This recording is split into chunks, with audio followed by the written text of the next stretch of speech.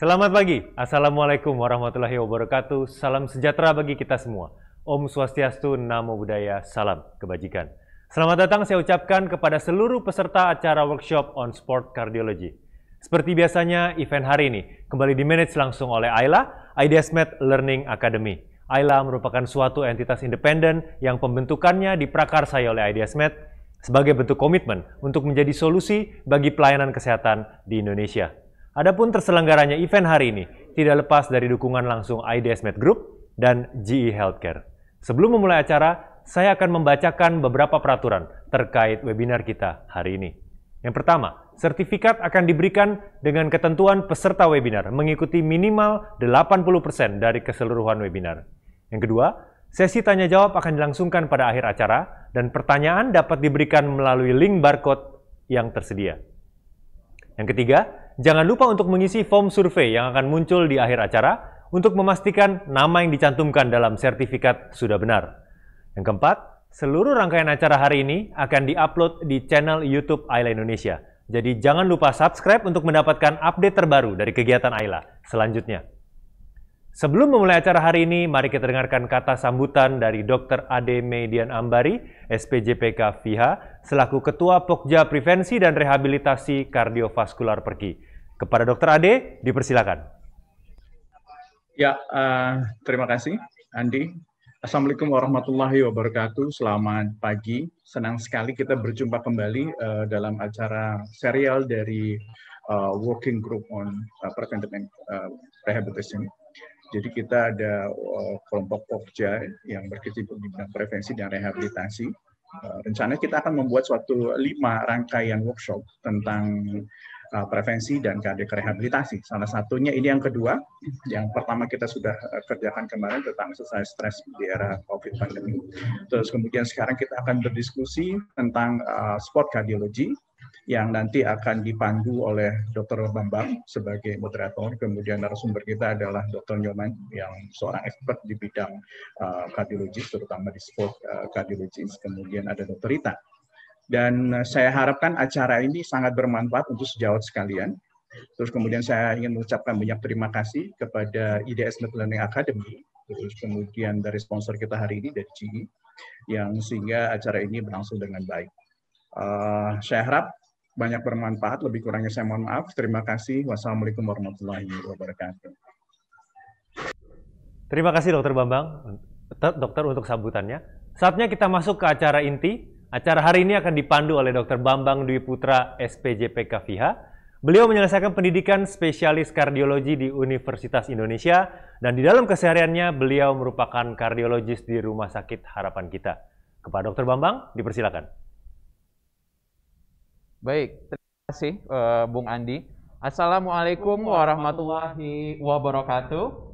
Rekan-rekan sejawat sekalian, selamat pagi. Senang sekali rasanya saya Dr. Bambang Dwi Putra hari ini diberikan kesempatan untuk memandu jalannya workshop uh, Sport on Cardiology. Ya, jadi uh, selama dua jam ke depan kita akan bersama-sama uh, menyimak materi yang akan dipaparkan oleh dua pembicara kita pada pagi hari ini. Workshop ini merupakan agenda tahunan dari Pokja Prevensi dan Rehabilitasi Kardiovaskular PP Perki dan kali ini kita didukung penuh oleh uh, GE Healthcare dan PT IDS Med. Terima kasih atas supportnya yang sangat luar biasa dan kami mengucapkan selamat datang kepada sejawat sekalian di mana pun Anda berada. Terima kasih pada pagi hari ini sudah bersedia meluangkan waktunya untuk bergabung bersama kami di workshop Sport on Cardiology. Pagi hari ini kita akan kehadiran dua pembicara tamu yang tentu saja sudah merupakan expert di bidangnya. Uh, hari ini ada kita kehadiran Dr. I Nyoman Wiryawan. Uh, beliau akan live dari Bali. Selamat pagi, Dr. Nyoman. Selamat pagi, Dr. Bambang. Sudah Selamat bergabung pagi. ya bersama kita. Uh, ya. Kemudian yang kedua kita akan kehadiran Dr. Rita Hamdani SPJP. Beliau adalah kardiolog dari Universitas Andalas. Selamat pagi Dr. Rita. Selamat pagi Dr. Bambang. Sudah bergabung bersama kami di sini ya dok ya? Ya, Alhamdulillah sudah dok. Oke, baik. Uh, pada pagi hari ini ada dua materi yang akan dipaparkan. Yang pertama adalah dari Dr. I. Nyoman Wiryawan. Uh, beliau akan memaparkan bagaimana uh, menginterpretasikan EKG pada atlet ya, dan kapan kita harus menginvestigasi lebih lanjut. Kemudian yang kedua, Dr. Rita akan memaparkan mengenai exercise in clinical cardiovascular settings. Jadi uh, bagaimana meresepkan latihan pada beberapa uh, setting penyakit-penyakit kardiovaskular. Uh, untuk peserta sekalian, peserta sekalian selama berlangsungnya presentasi atau acara dapat memberikan pertanyaan yang dapat diakses melalui barcode, scan barcode yang ada di layar uh, sejawat sekalian, di mana di situ terdapat uh, link kepada slido.com yang uh, di situ nanti sejawat sekalian dapat mengetik pertanyaan yang ingin diajukan. Pertanyaan-pertanyaan tersebut nanti akan dibahas di sesi diskusi yang akan berlangsung setelah dua pembicara selesai. Baik, untuk tidak memperlama lagi, kita akan masuk kepada materi yang pertama. Izinkan saya memperkenalkan uh, pembicara kita yang pertama, Dr. Inyoman Wiryawan. Beliau adalah uh, kardiolog yang bekerja sehari-hari di RSUP Sanglah Denpasar Bali ya. Jadi uh, beliau ini tidak perlu diragukan lagi expert di bidangnya. Kemudian uh, beliau menyelesaikan pendidikan spesialisnya di tahun 2014 dari FKUI. Kemudian saat ini menjabat sebagai koordinator program studi spesialis jantung dan pembuluh darah di FK Universitas Udayana. Baik, uh, Dokter Nyoman, saya persilahkan. Uh, Dokter mempunyai waktu sekitar 30 menit untuk menyampaikan uh, materi. Silakan, Dok. Baik, uh, terima kasih Dr. Bambang. Selamat pagi, Om Swastiastu. Assalamualaikum warahmatullahi wabarakatuh. Salam, Om Namo Buddhaya. Salam sejahtera untuk kita semua. Pertama-tama saya ucapkan terima kasih kepada Ketua Pokja Prevensi dan Rehabilitasi Kardiovaskuler Dr. Ade Median yang telah mempercayakan materi ini disampaikan oleh saya. Juga terima kasih saya sampaikan kepada pihak IDS Med yang sudah memfasilitasi webinar Pokja uh, Prevensi dan Rehab Kardiovaskuler ini dan sekarang sedang terselenggaranya webinar uh, rangkaian webinar yang kedua. Juga terima kasih kepada Dr. Bambang yang uh, menjadi moderator di pagi hari ini. Kepada para peserta sekalian, salam sejahtera dan selamat pagi. Semoga kita semua tetap aman dan sehat di zaman pandemi COVID-19 ini dan dapat melalui masa-masa yang kurang menyenangkan ini tetap dalam keadaan sehat dan aman. Uh, bisa ditampilkan slide saya? Oke. Okay. Apakah sudah terlihat dengan jelas? Sudah terlihat. Oke, terima kasih. Jadi slide. Saya akan mulai dengan slide pertama sebagai latar belakang uh, dari organisasi uh, American Heart Association, kemudian Eropa serta dari uh, Komite Olimpiade itu setuju bahwa untuk uh, mencegah terjadinya suatu uh, cardiovascular related sudden cardiac death pada atlet, terutama kita uh, lebih uh, fokus kepada yang muda, itu membutuhkan suatu screening pre-participation sebelum atlet tersebut melakukan kegiatan olahraga yang kompetitif. Uh, selain kita harus mengambil data berupa um, anamnesis dengan family history dan uh, penyakit genetik yang mungkin bisa uh, dimiliki oleh seorang atlet tersebut.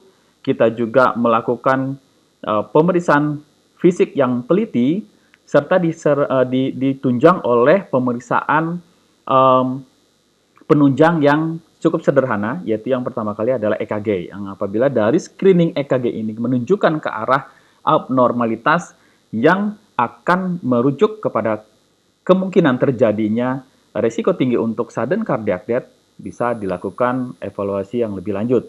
Dan interpretasi EKG ini yang dilakukan oleh seorang tenaga yang ahli itu dapat men-screening dan mencegah untuk terjadinya sudden cardiac death uh, kepada atlet yang terkait dengan kompetitif sport yang dilakukannya.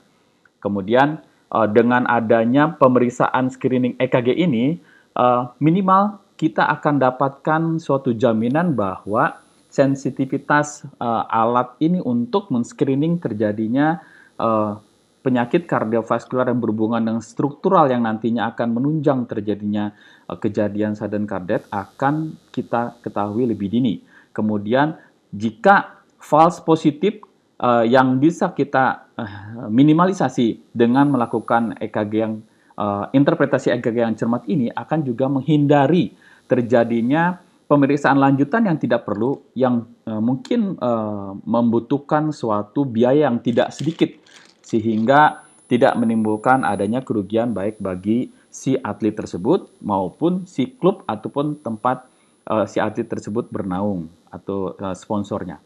Slide. Uh, dari slide yang pertama tadi saya sudah sampaikan, selain family history ataupun pemeriksaan fisik, EKG merupakan suatu alat screening yang cukup mudah. Mengapa demikian? Karena uh, dari EKG itu bisa kita bisa melihat selain uh, adanya uh, interpretasi yang khas untuk kecurigaan kita nanti ke arah uh, resiko untuk sudden cardiac death, interpretasi EKG yang akurat itu uh, membutuhkan pengetahuan adaptasi fisiologis yang terjadi pada seorang atlet yang uh, sudah melakukan exercise yang cukup intensif sehingga dapat menimbulkan suatu uh, keadaan yang disebut dengan athlete's heart. Dan dengan adanya pemahaman terhadap abnormalitas EKG yang muncul pada si atlet tersebut, uh, kita akan memperkirakan kelainan apa yang bisa muncul atau yang bisa terjadi dengan pemeriksaan penunjang lainnya. Kemudian dengan adanya investigasi yang tepat, uh, dengan terdapatnya abnormalitas pada EKG, kita bisa mencegah lebih dini.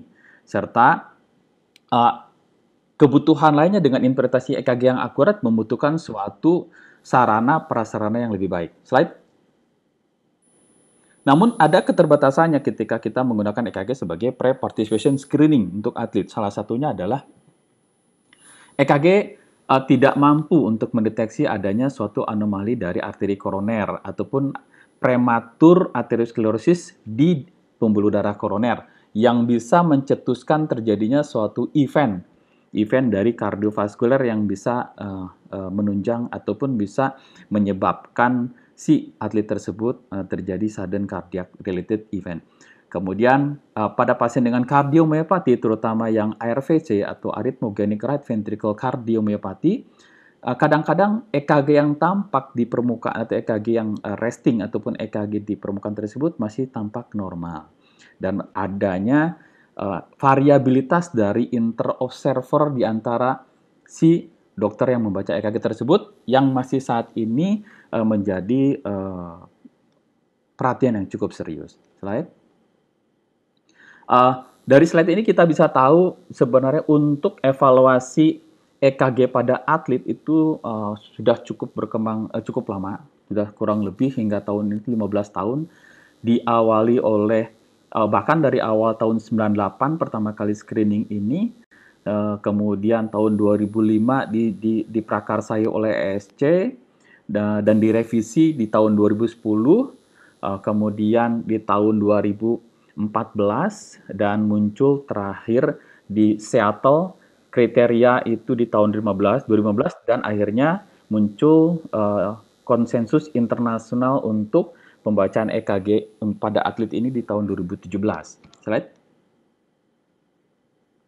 Nah ini uh, pada slide ini kita bisa lihat evolusi dari interpretasi EKG tersebut uh, dari ini dari 2005 dari yang diprakarsai oleh ESC, kemudian direvisi di tahun 2010 dan uh, di sini ma ma belum ter, uh, terpampang pada yang terakhir Sebenarnya yang terakhir itu adalah internasional uh, kriteria. Jadi ini yang uh, masih revisi dari yang Seattle kriteria tahun 2013. Slide. Jadi uh, ada beberapa kriteria yang dikategorikan uh, bahwa uh, jika menemukan EKG resting seperti ini, kita akan memiliki uh, pola pikir bahwa interpretasi yang seperti ini uh, akan menunjuk kepada merujuk kepada pemeriksaan uh, penunjang lanjutan.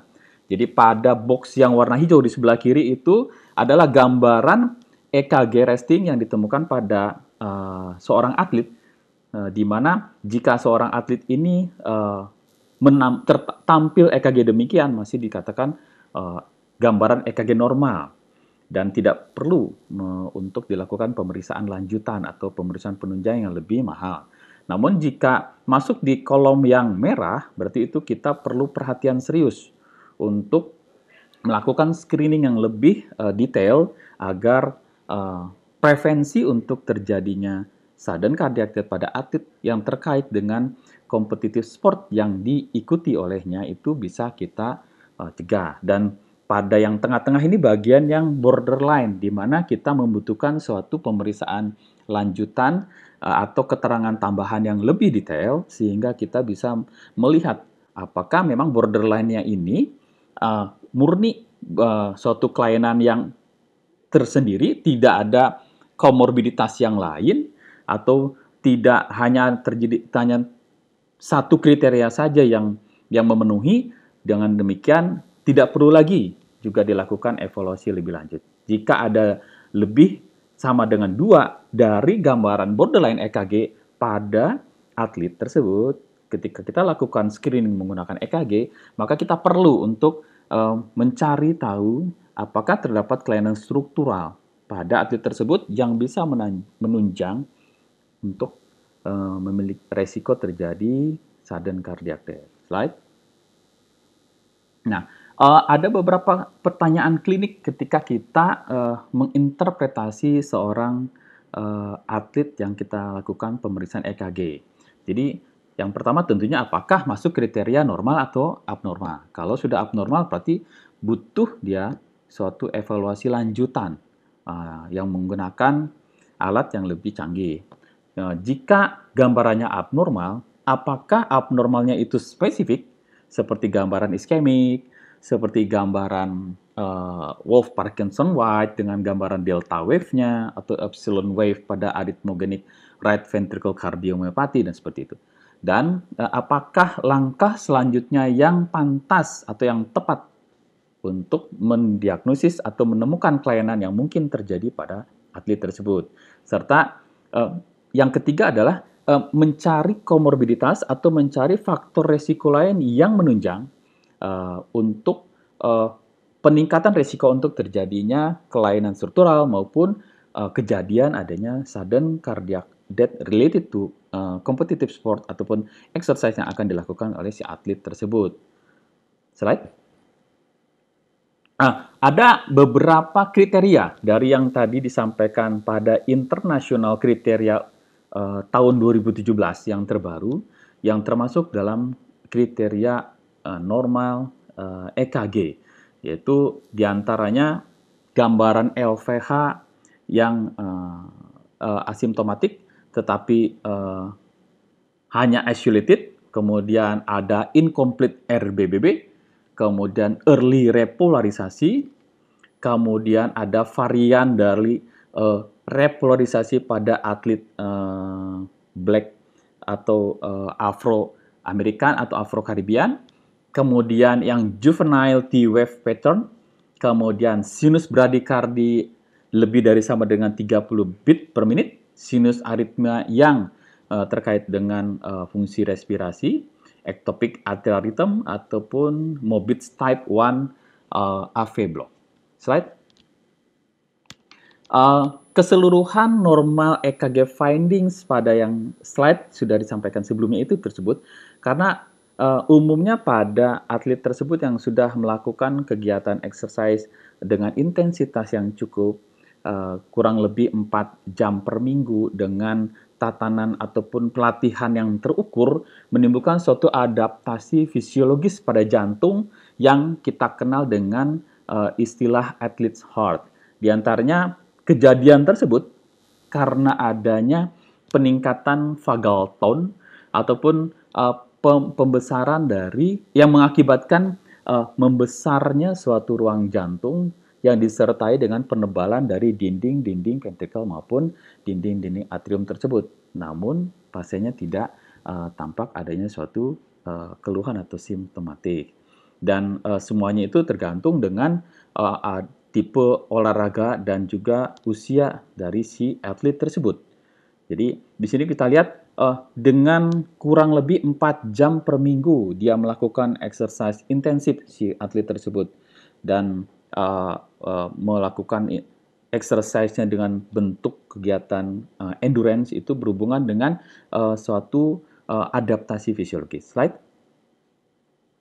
Uh, ada tahapan-tahapan uh, ketika kita menginterpretasi EKG pada atlet. Uh, yang saya sederhanakan dari literatur ini adalah enam tahapan, yaitu dari mulai lead prekordial, kemudian kita melihat adanya aksis dan juga pembesaran di atrium, serta melihat adanya uh, bentuk QRS dengan uh, iramanya, dan terakhir adalah uh, QT intervalnya. Right?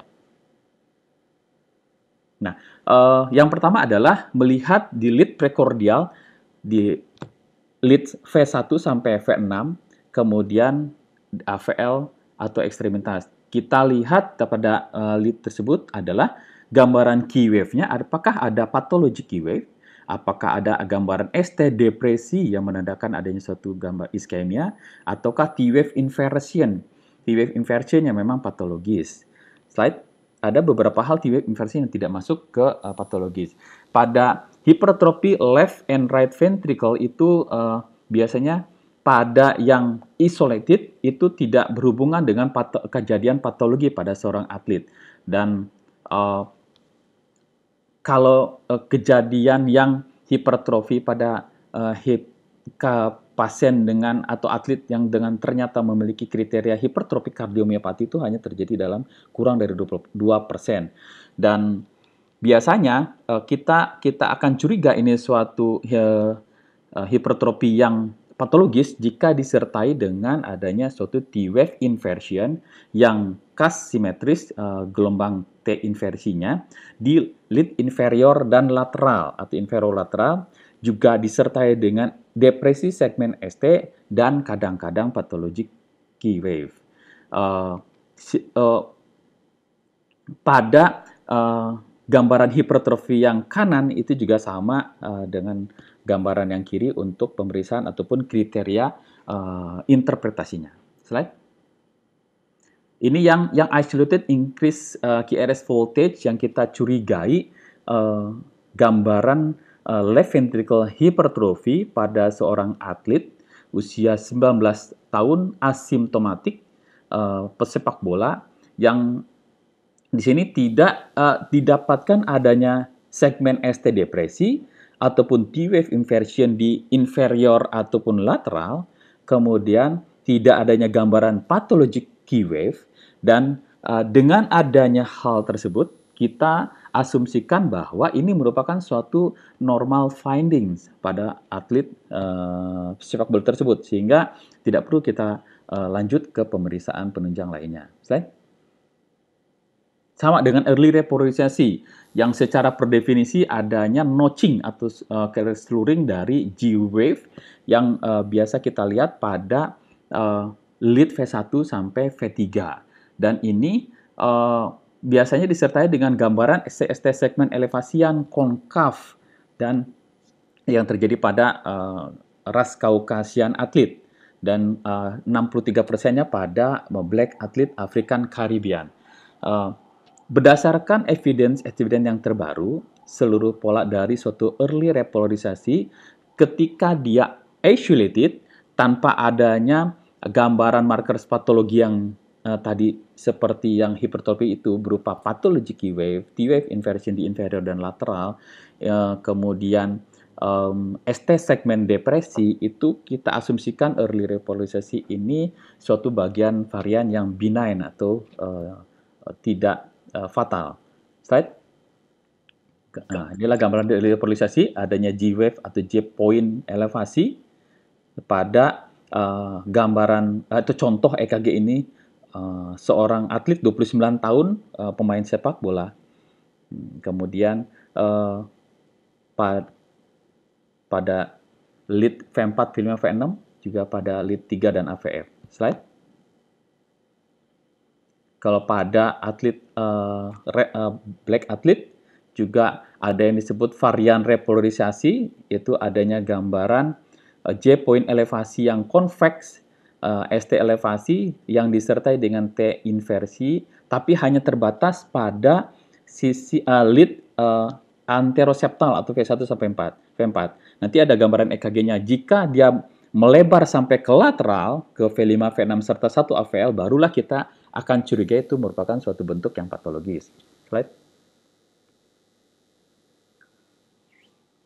Ada juga uh, suatu bentuk yang pola ini kita dikatakan juvenile electrocardiogram uh, slide T-wave inversion di mana uh, pada juvenile T-wave inversionnya ini biasa terjadi pada uh, atlet uh, atau seorang atlet uh, muda di bawah 14 tahun atau 16 tahun uh, terdapat suatu gambaran T-wave inversion di V1 sampai V3. Kalau tadi yang kita lihat black people itu sampai V4 ini, kalau yang pada yang juvenile sampai V3. Tetapi tidak melebar sampai ke V atau ke lead yang lainnya. Dan ini juga merupakan suatu gambaran yang normal, uh, penemuan yang normal sehingga tidak perlu adanya evaluasi lebih lanjut. Slide. Kalau incomplete right bundle branch memang secara literatur merupakan uh, gambaran yang uh, mungkin bisa terjadi pada atlet yang muda ataupun uh, seorang atlet yang intens melakukan uh, exercise dan gambaran ini jelas bukan merupakan suatu uh, gambaran yang patologis sehingga tidak perlu atlet ini uh, kita lakukan evaluasi lebih lanjut yang uh, mungkin akan menambah uh, biaya ataupun waktu si atlet tersebut. Slide. Nah, setelah kita ketahui evaluasi dari yang box yang hijau tadi yang merupakan gambaran uh, eh, EKG yang normal pada seorang atlet, uh, di antaranya uh, mungkin tidak tercantum sinus bradikardia ataupun mobit 1 dari AV block atau tipe Wen kebah itu juga termasuk yang uh, normal findings. Ada juga yang kita di uh, uh, harus ketahui sebagai bentuk gambaran EKG yang abnormal, yaitu yang ada di box merah pada kriteria internasional untuk uh, interpretasi EKG yang muncul atau keluar pada tahun 2017 ketetapannya. Slide di sini bisa kita cukup banyak. Di antaranya adalah uh, abnormal uh, T-wave inversion yang abnormal, yaitu dengan kriteria lebih dari 1 mm kedalamannya pada dua atau lebih contiguous lead atau lead yang berpasangan kecuali pada lead 3 V1 dan AVR juga uh, terdapat T-wave inversinya di anterior, lateral, inferolateral atau inferior dan harus jika ketemu seperti itu harus kita pikirkan suatu keadaan patologis dan membutuhkan suatu evaluasi lebih lanjut. Kecuali T-wave inversionnya itu yang pada black people terjadi pada leads V1 sampai V4, uh, eh, kemudian adanya di, di awali atau di, disertai dengan gambaran G wave, G point wave uh, elevation, uh, dan di lead V1 atau sampai V3 pada yang tipe juvenile. The juvenile itu uh, dipatokannya itu ada beberapa literatur yang mengatakan di bawah 14 tahun, tapi ada juga yang mengatakan di bawah 16 tahun. Pada internal eh, internasional EKG kriteria itu di, di, dijadikan patokan di 12 6 tahun 16 tahun sebagai tipe yang juvenile.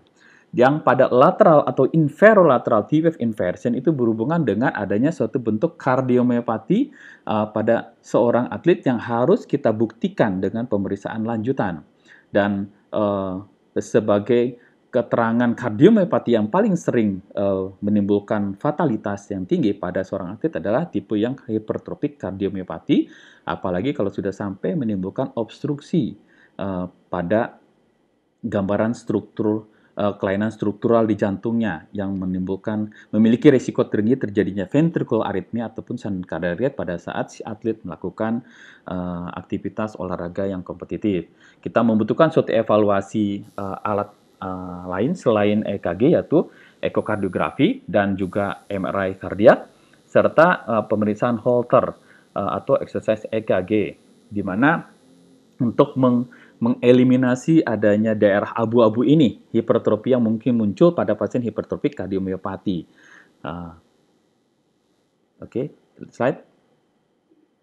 Ini pada lateral T-wave inversion ini yang harus kita curigai. Tadi jika jika hanya berlang uh, jika hanya tampak pada lead V1 sampai V4 pada yang black people, kemudian V1 sampai V3 pada yang juvenile, usia kurang dari 16 tahun, itu masih bisa dikatakan normal findings. Tapi ketika sudah melebar sampai ke lateral, V4, V5, V6, kemudian kadang-kadang disertai dengan satu dan uh, eh, AVL, itu kita uh, patut memiliki, memiliki suatu kecurigaan bahwa something went wrong pada EKG ini, pada seorang atlet ini. Sehingga uh, membutuhkan suatu pemeriksaan lanjut yang akan menentukan uh, adanya apakah adanya terdapat suatu kelainan struktural pada jantung tersebut. Dan dengan adanya kardiak uh, eh, MRI sebagai evaluasi selain echo uh, adanya uh, adanya gambaran ST depresi uh, sebagai gambaran lain adanya TIF inversi tersebut juga makin menguatkan kita kemungkinan terdapatnya suatu anomali pada uh, atlet tersebut dan membutuhkan juga kalau memang ter, kita masih berada pada daerah yang abu-abu, tadi yang pada slide sebelumnya disampaikan, membutuhkan suatu serial follow up yang ketat, uh, bisa uh, per tahun atau kurang, untuk uh, mengevaluasi dengan pasti uh, apakah uh, kelainan strukturnya itu akan uh, memiliki resiko tinggi untuk terjadinya sudden cardiac death. Slide. Pada uh, T-wave inversi yang inferolateral, ini kita bisa lihat di sini pada slide 1 AVL, kemudian V4, V5, V6, juga uh, dari V3 sampai V6 serta di AVF, inferolateral 2 dan uh, AVF uh, disertai dengan ST depresi ini uh, uh, gambaran EKG pada seorang atlet yang uh, tidak uh, dianggap tidak normal sehingga membutuhkan suatu pemeriksaan lebih lanjut. Slide. Untuk evaluasi lebih lanjutnya, uh, menggunakan ekokardiografi, uh, eh, MRI kardiak, ataupun Holter dan stress testing untuk mengeliminasi daerah abu-abu tersebut yang kita bisa singkirkan uh, apakah ini merupakan suatu uh, gambaran adanya pressure overload atau strain pada left ventricle kirinya akibat dari proses adaptasi fisiologis si atlet tersebut dalam melakukan exercise ataukah memang suatu patologis? Itu slide dan uh, evaluasi dari um, abnormalitas pada EKG itu uh, di antaranya dengan menggunakan echo, cardiac MRI, atau EKG stress test menggunakan sepeda ataupun treadmill, serta Holter monitoring. Di sini pada uh, slide ini sayangnya memang kecil tulisannya ya itu uh, ada pertimbangan-pertimbangan tertentu pada gambaran EKG abnormality yang T-wave inversion disertai dengan ST segmen depresi dan pathologic T-wave uh, untuk menentukan apakah suatu kelainan struktural jantung sudah terjadi yang akan memiliki uh, sumbangan pemikiran patologik event yang akan terjadi pada atlet tersebut. Slide. Pada anterior T-wave inversion, pada lead 1 sampai V3 dianggap suatu uh, uh, pola dari uh, yang yang pada usia muda di bawah 16 tahun merupakan suatu uh, hal yang masih normal. Tetapi jika uh, kas itu bisa kita curiga juga apalagi apalagi jika disertai dengan adanya gambaran epsilon wave pada V1, kita bisa curiga merupakan suatu arrhythmogenic right ventricle cardiomyopathy. Dan ada atau tidaknya J point dan disertai dengan kelainan dari ST segmen juga bisa membedakan apakah uh, T-wave in uh, T-wave inversion di sisi anterior atau lead anterior itu itu merupakan suatu hal yang fisiologis uh, ataukah merupakan suatu keadaan kardiomiopati pada atlet. Dan jika terjadi kombinasi G point, G point elevasi lebih dari satu lebih dari sama dengan 1 mm dan hanya terbatas pada uh, lead V1 sampai V4, mungkin kita lebih bisa uh, merule out adanya suatu kardiomiopati pada uh, pasien yang kita lihat pada EKG restingnya terdapat suatu gambaran T-wave inversion di sisi anterior. Slide. Dan evaluasinya jika terdapat epsilon wave seperti ini dengan uh, T-wave inversion di lead V1, kemudian kita lihat V2, V3, V4, uh, ternyata uh, kita curigai lebih mendekati ke arah patologis, yaitu uh, suatu uh, posibilitas terjadinya arrhythmogenic right ventricle cardiomyopathy, uh, jelas-jelas pasien atau atlet ini membutuhkan suatu evaluasi lebih lanjut. Ya, ini uh, gambaran yang mungkin bisa terjadi pada pasien tersebut. Oke, okay, slide.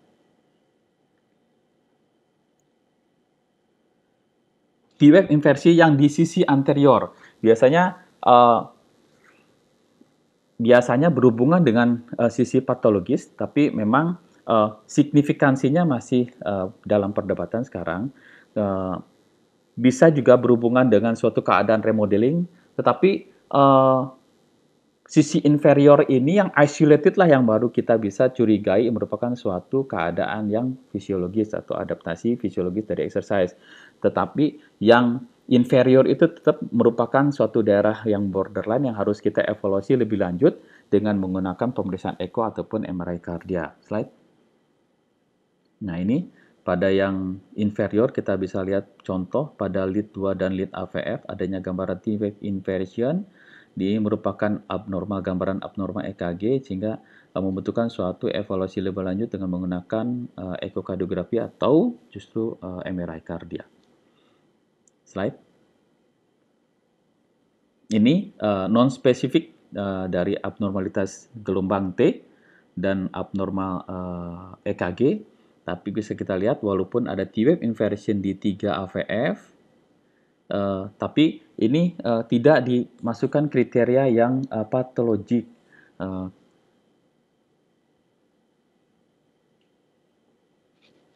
karena isolated. Ya, slide.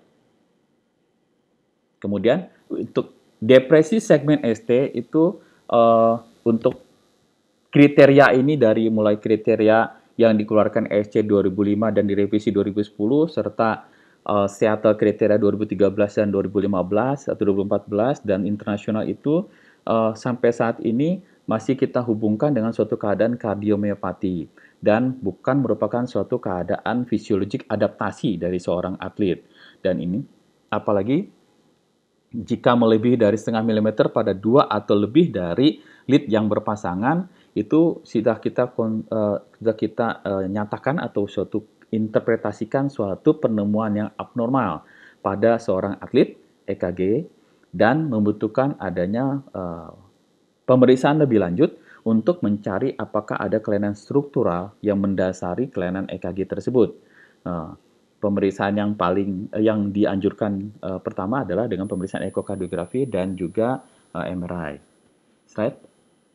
Kemudian uh, pathological key wave itu uh, di definisi yang terbaru adalah adanya suatu rasio gelombang Q banding R lebih dari 0,25 atau seperempat dari uh, dalamnya Q uh, seperempat dari dalam, uh, tingginya R dengan uh, durasi lebih dari 40 milisecond pada dua atau lebih contiguous lead, ya, uh, kecuali di lead 3 dan AVR.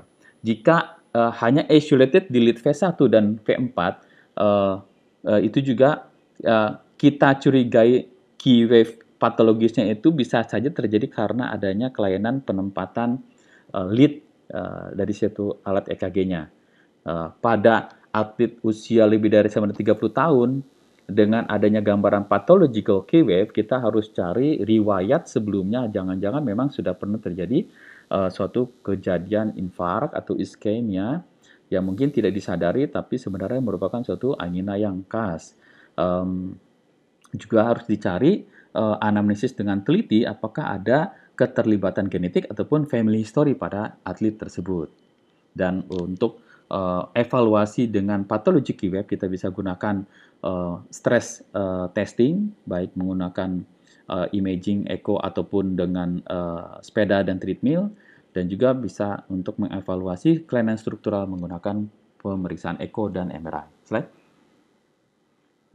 Ini kriteria yang terbaru, adanya uh, dalamnya Q-wave lebih dari seperempat tingginya R gelombang R dengan durasi lebih dari 40 milisecond.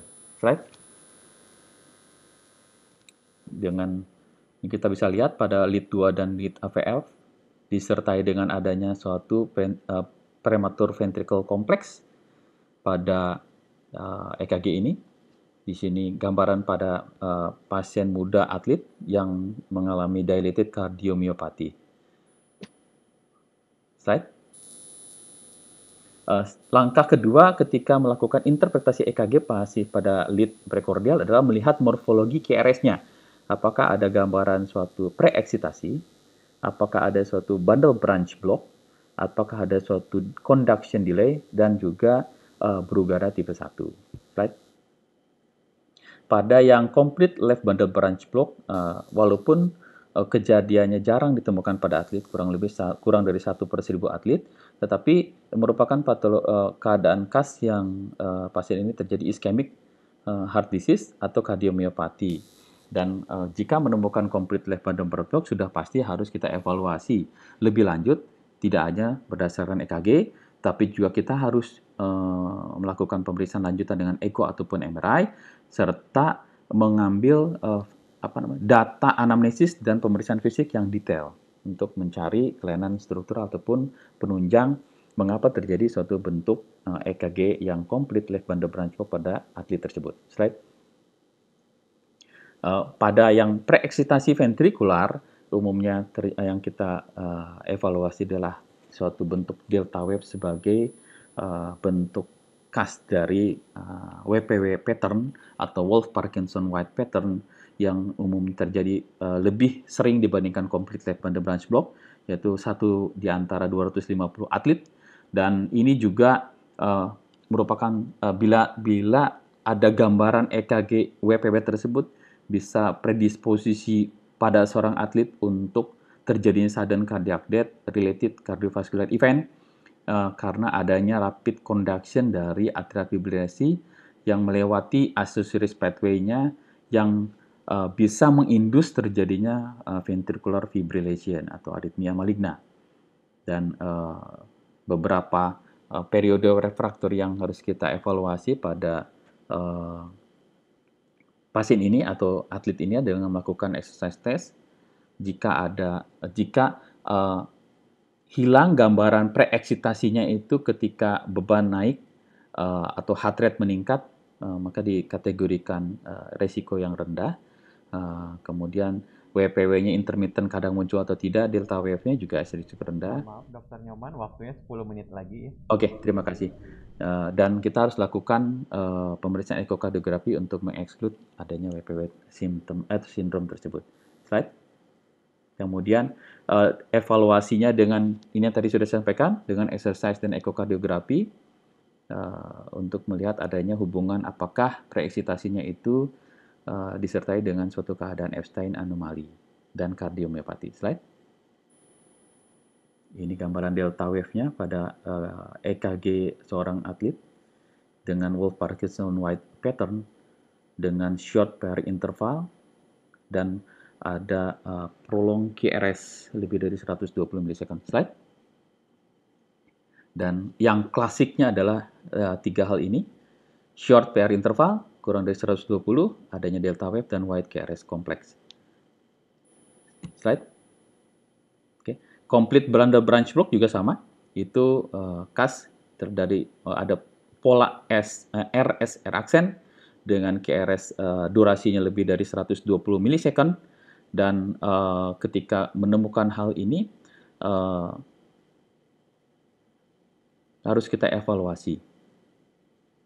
Tapi ketika uh, hanya gambaran complete right, bundle branch block pada usia muda, kemudian hanya uh, tidak ada gambaran uh, patologis lainnya, uh, gambaran complete right bundle branch block itu tidak membutuhkan suatu investigasi lebih lanjut karena dianggap suatu uh, gambaran yang normal. Slide. Jadi yang isolasi tidak ada gambaran di borderline tadi yang kriterianya warna kuning, yang internasional kriteria tahun 2017 di antaranya adalah tidak ada LAE, kemudian aksis deviasi tidak ada, kemudian eh, tidak membutuhkan adanya suatu investigasi lebih lanjut. Slide. Jika KRS durasi pada komplit eh, RBBB lebih dari 140 barulah ini kita harus evaluasi lebih lanjut karena dinyatakan suatu keadaan yang abnormal. Tapi kalau masih di bawah 120 milisecond carriage duration-nya itu kita eh di bawah 140, 120 sampai 140 masih dalam masuk kriteria yang isolated dan uh, normal findings. Ya, selanjutnya slide. Brugada tipe 1 polanya seperti adanya suatu bentuk pola RS action yang COV, konkav, dengan estek segmen elevasi kurang lebih 2 mm dan inversi, T-wave inversion dari uh, delete V1, V2, dan V3. Ini juga harus, sudah pasti kita harus evaluasi karena uh, bisa terjadi suatu keadaan fatal atau aritmia maliknya yang bisa dicetuskan dengan pada Brugada tipe 1 ini, apalagi jika disertai penunjang adanya riwayat prematur uh, cardiac death pada keluarganya uh, ataupun adanya uh, riwayat sudden cardiac death uh, pada uh, family degree yang satu uh, tingkat. Slide. Uh, untuk uh, jika untuk kita kita agak ragu dapat meningkatkan sensitivitas kita pada yang bergada tipe 1 dengan menaikkan uh, penempatan dari lead V1 dan V2-nya kurang lebih di uh, ICS uh, 2 dan 3. Dan uh, juga kita harus lihat pola dari Brugada like EKG pattern uh, akibat dari hiperkalemia, uh, obat-obatan seperti sodium ion channel blocking yang biasa juga mungkin bisa terjadi pada gambaran EKG yang Brugada type 1. Slide. Step ketiga adalah melihat aksis pada uh, lead ekstremitas ini uh, tentunya sudah tidak asing lagi bagi para kardiologis semua dan juga teman-teman sekalian yang sudah mengikuti pelatihan EKG basic maupun advance slide. Jadi untuk melihat ini terutama pada uh, gambaran EKG yang di borderline ketika dia isolated uh, kemudian tidak lebih dari sama dengan uh, dua gambaran ditemukan berarti tidak perlu adanya pemeriksaan lanjutan pada uh, EKG atlet tersebut. Yang step keempat dengan melihat apakah adanya uh, atrium enlargement baik yang uh, P mitral ataupun P uh, pulmonal. Slide.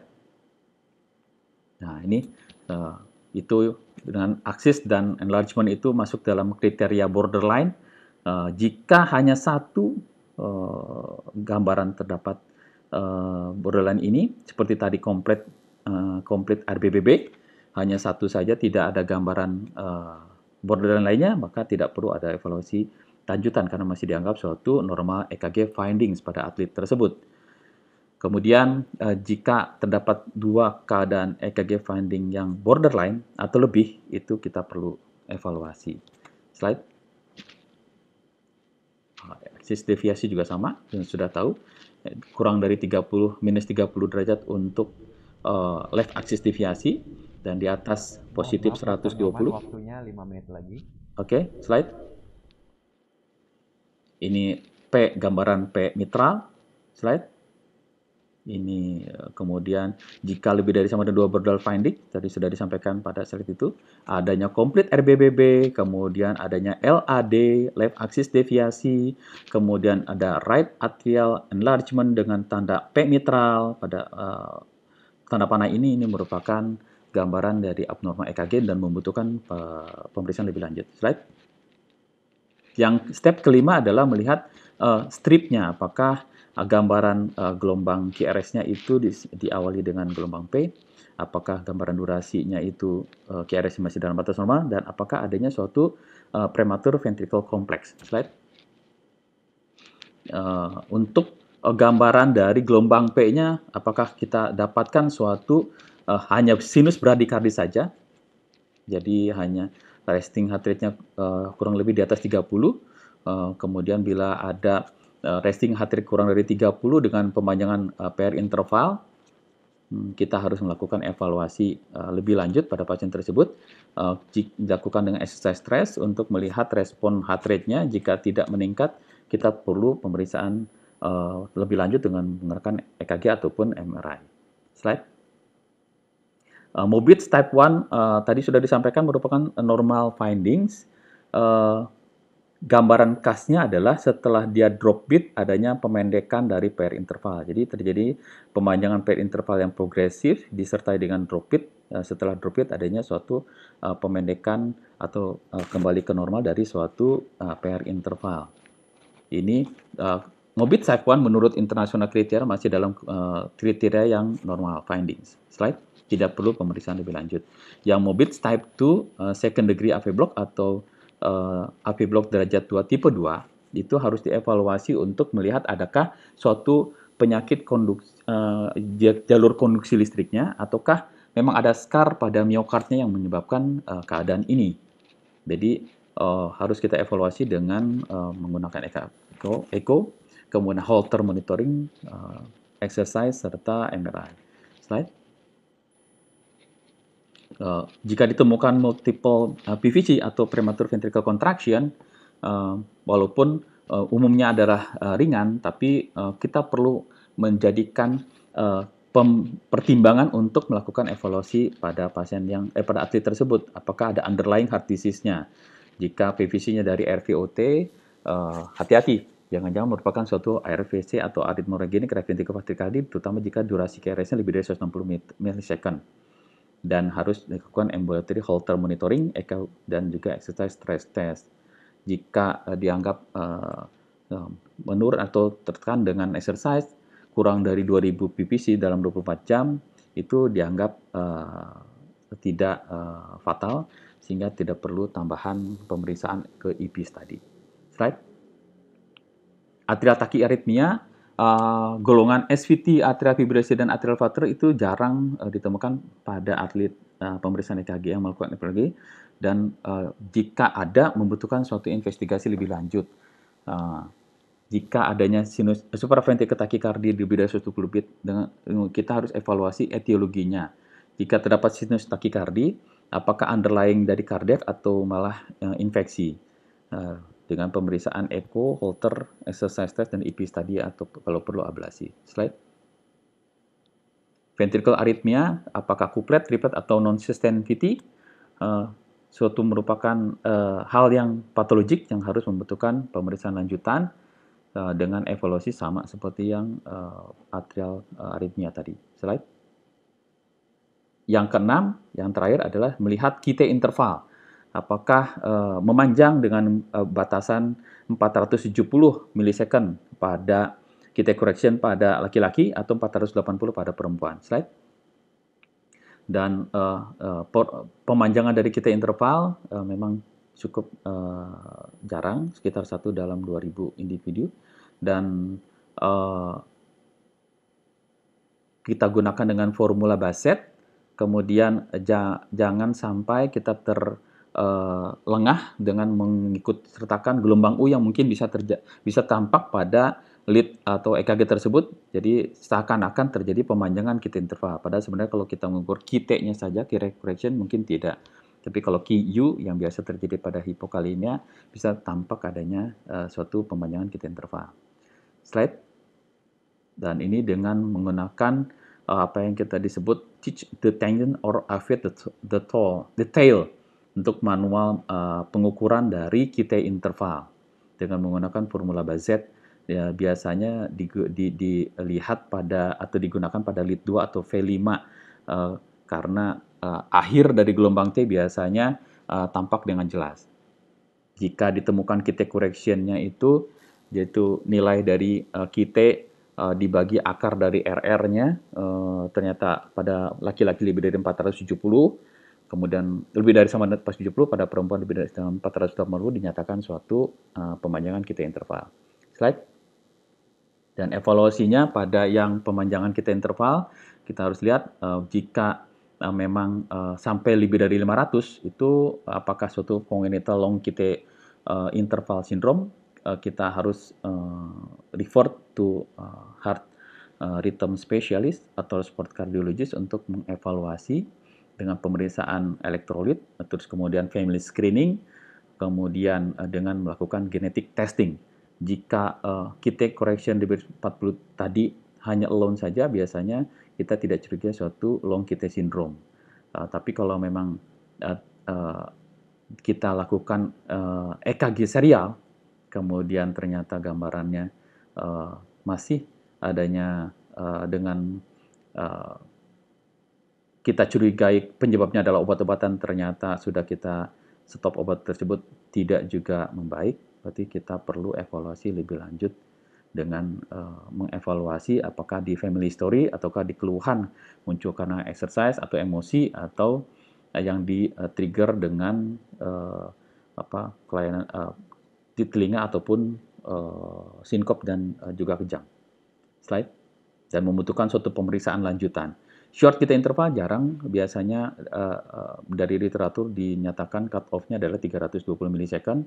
Uh, jadi membutuhkan suatu uh, penilaian dari klinis pasien tersebut. Slide. Dan uh, beberapa suatu uh, algoritma untuk membedakan perubahan EKG yang tadi sudah saya sampaikan apakah suatu fisiologis ataukah uh, merupakan patologis dengan pemeriksaan dan evaluasi seperti ini dengan contoh-contoh yang tadi sudah disampaikan di slide saya sebelumnya. Jika ada yang borderline kuning ini, jika lebih dari sama dengan dua, uh, masuk kita ke evaluasi. Slide. Dan uh, apakah evaluasi yang dilakukan pada kelainan-kelainan uh, dari EKG yang ditemukan dan kita curiga ternyata merupakan suatu pathological findings? Uh, sayangnya ini, maaf ini kecil sekali. Kecurigaannya adalah bisa hypertrophic ataupun dilated cardiomyopathy, kemudian uh, arrhythmogenic right ventricle cardiomyopathy, uh, atau kelainan-kelainan uh, lainnya. Bisa juga pada ST segmen depresi bisa karena suatu uh, miokarditis dan uh, patologi web adanya riwayat infark. Dan semuanya itu jika ditemukan uh, membutuhkan suatu uh, kerjasama yang baik antara physician dan juga uh, pelatih ataupun uh, klubnya ataupun si uh, atlet itu sendiri untuk uh, apa mengevaluasi uh, olahraga kompetitif apa yang masih mungkin bisa dilakukan atau bahkan mungkin tidak bisa dilakukan lagi. Slide. Nah, ini juga uh, salah satu dari evaluasi tersebut. Ketika kita sudah temukan yang EKG yang abnormal, maka dilakukan evaluasi-evaluasi uh, untuk mencegah terjadinya sudden cardiac related uh, cardiovascular event. Slide. Nah, pada sampailah pada akhir dari slide saya uh, pada apa yang sudah saya sampaikan di awal tentang EKG pada atlet ini, uh, beberapa hal yang perlu kita uh, garis bawahi adalah uh, baik uh, Eropa, kemudian uh, Olimpiade Committee, FIFA dan juga beberapa organisasi sport seperti NBA di Amerika itu juga uh, menyarankan untuk melakukan screening EKG uh, sebelum, terutama pada atlet yang masih muda, sebelum melakukan aktivitas olahraga yang kompetitif.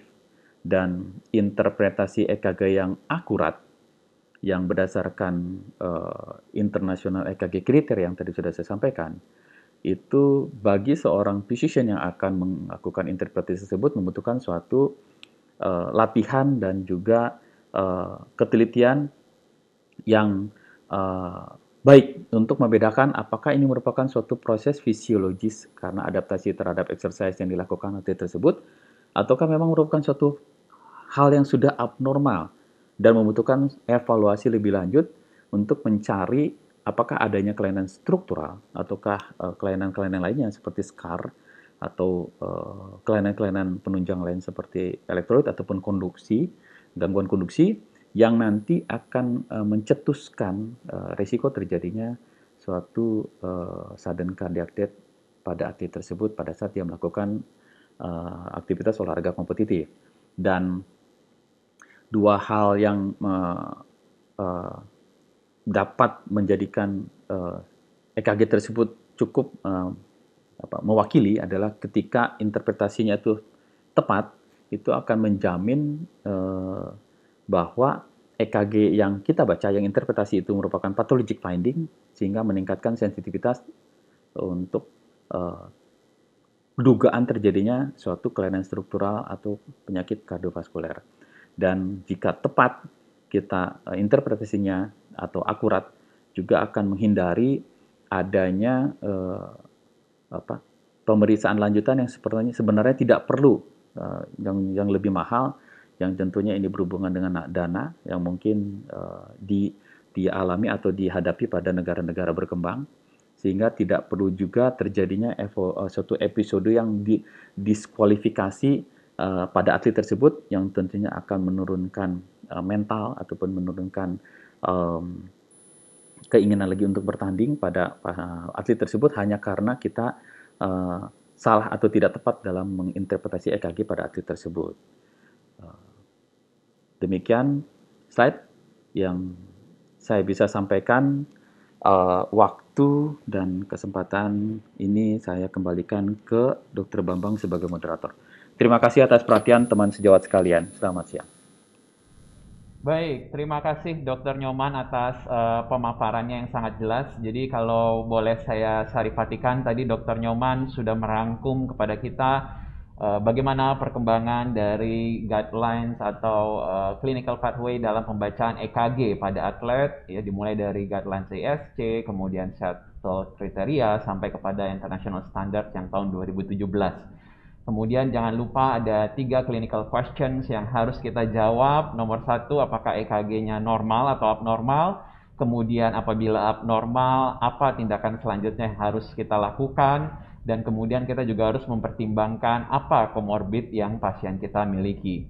Kemudian tadi Dr. Nyoman juga sudah uh, dengan jelas memaparkan beberapa contoh-contoh EKG yang menjadi normal varian ataupun yang patologis pada uh, atlet. Baik, uh, sejawat sekalian, kita masih ada satu materi lagi yang akan disampaikan oleh Dr. Rita Hamdani. Uh, jangan ke mana-mana dulu, kita akan kembali setelah jeda yang berikut ini.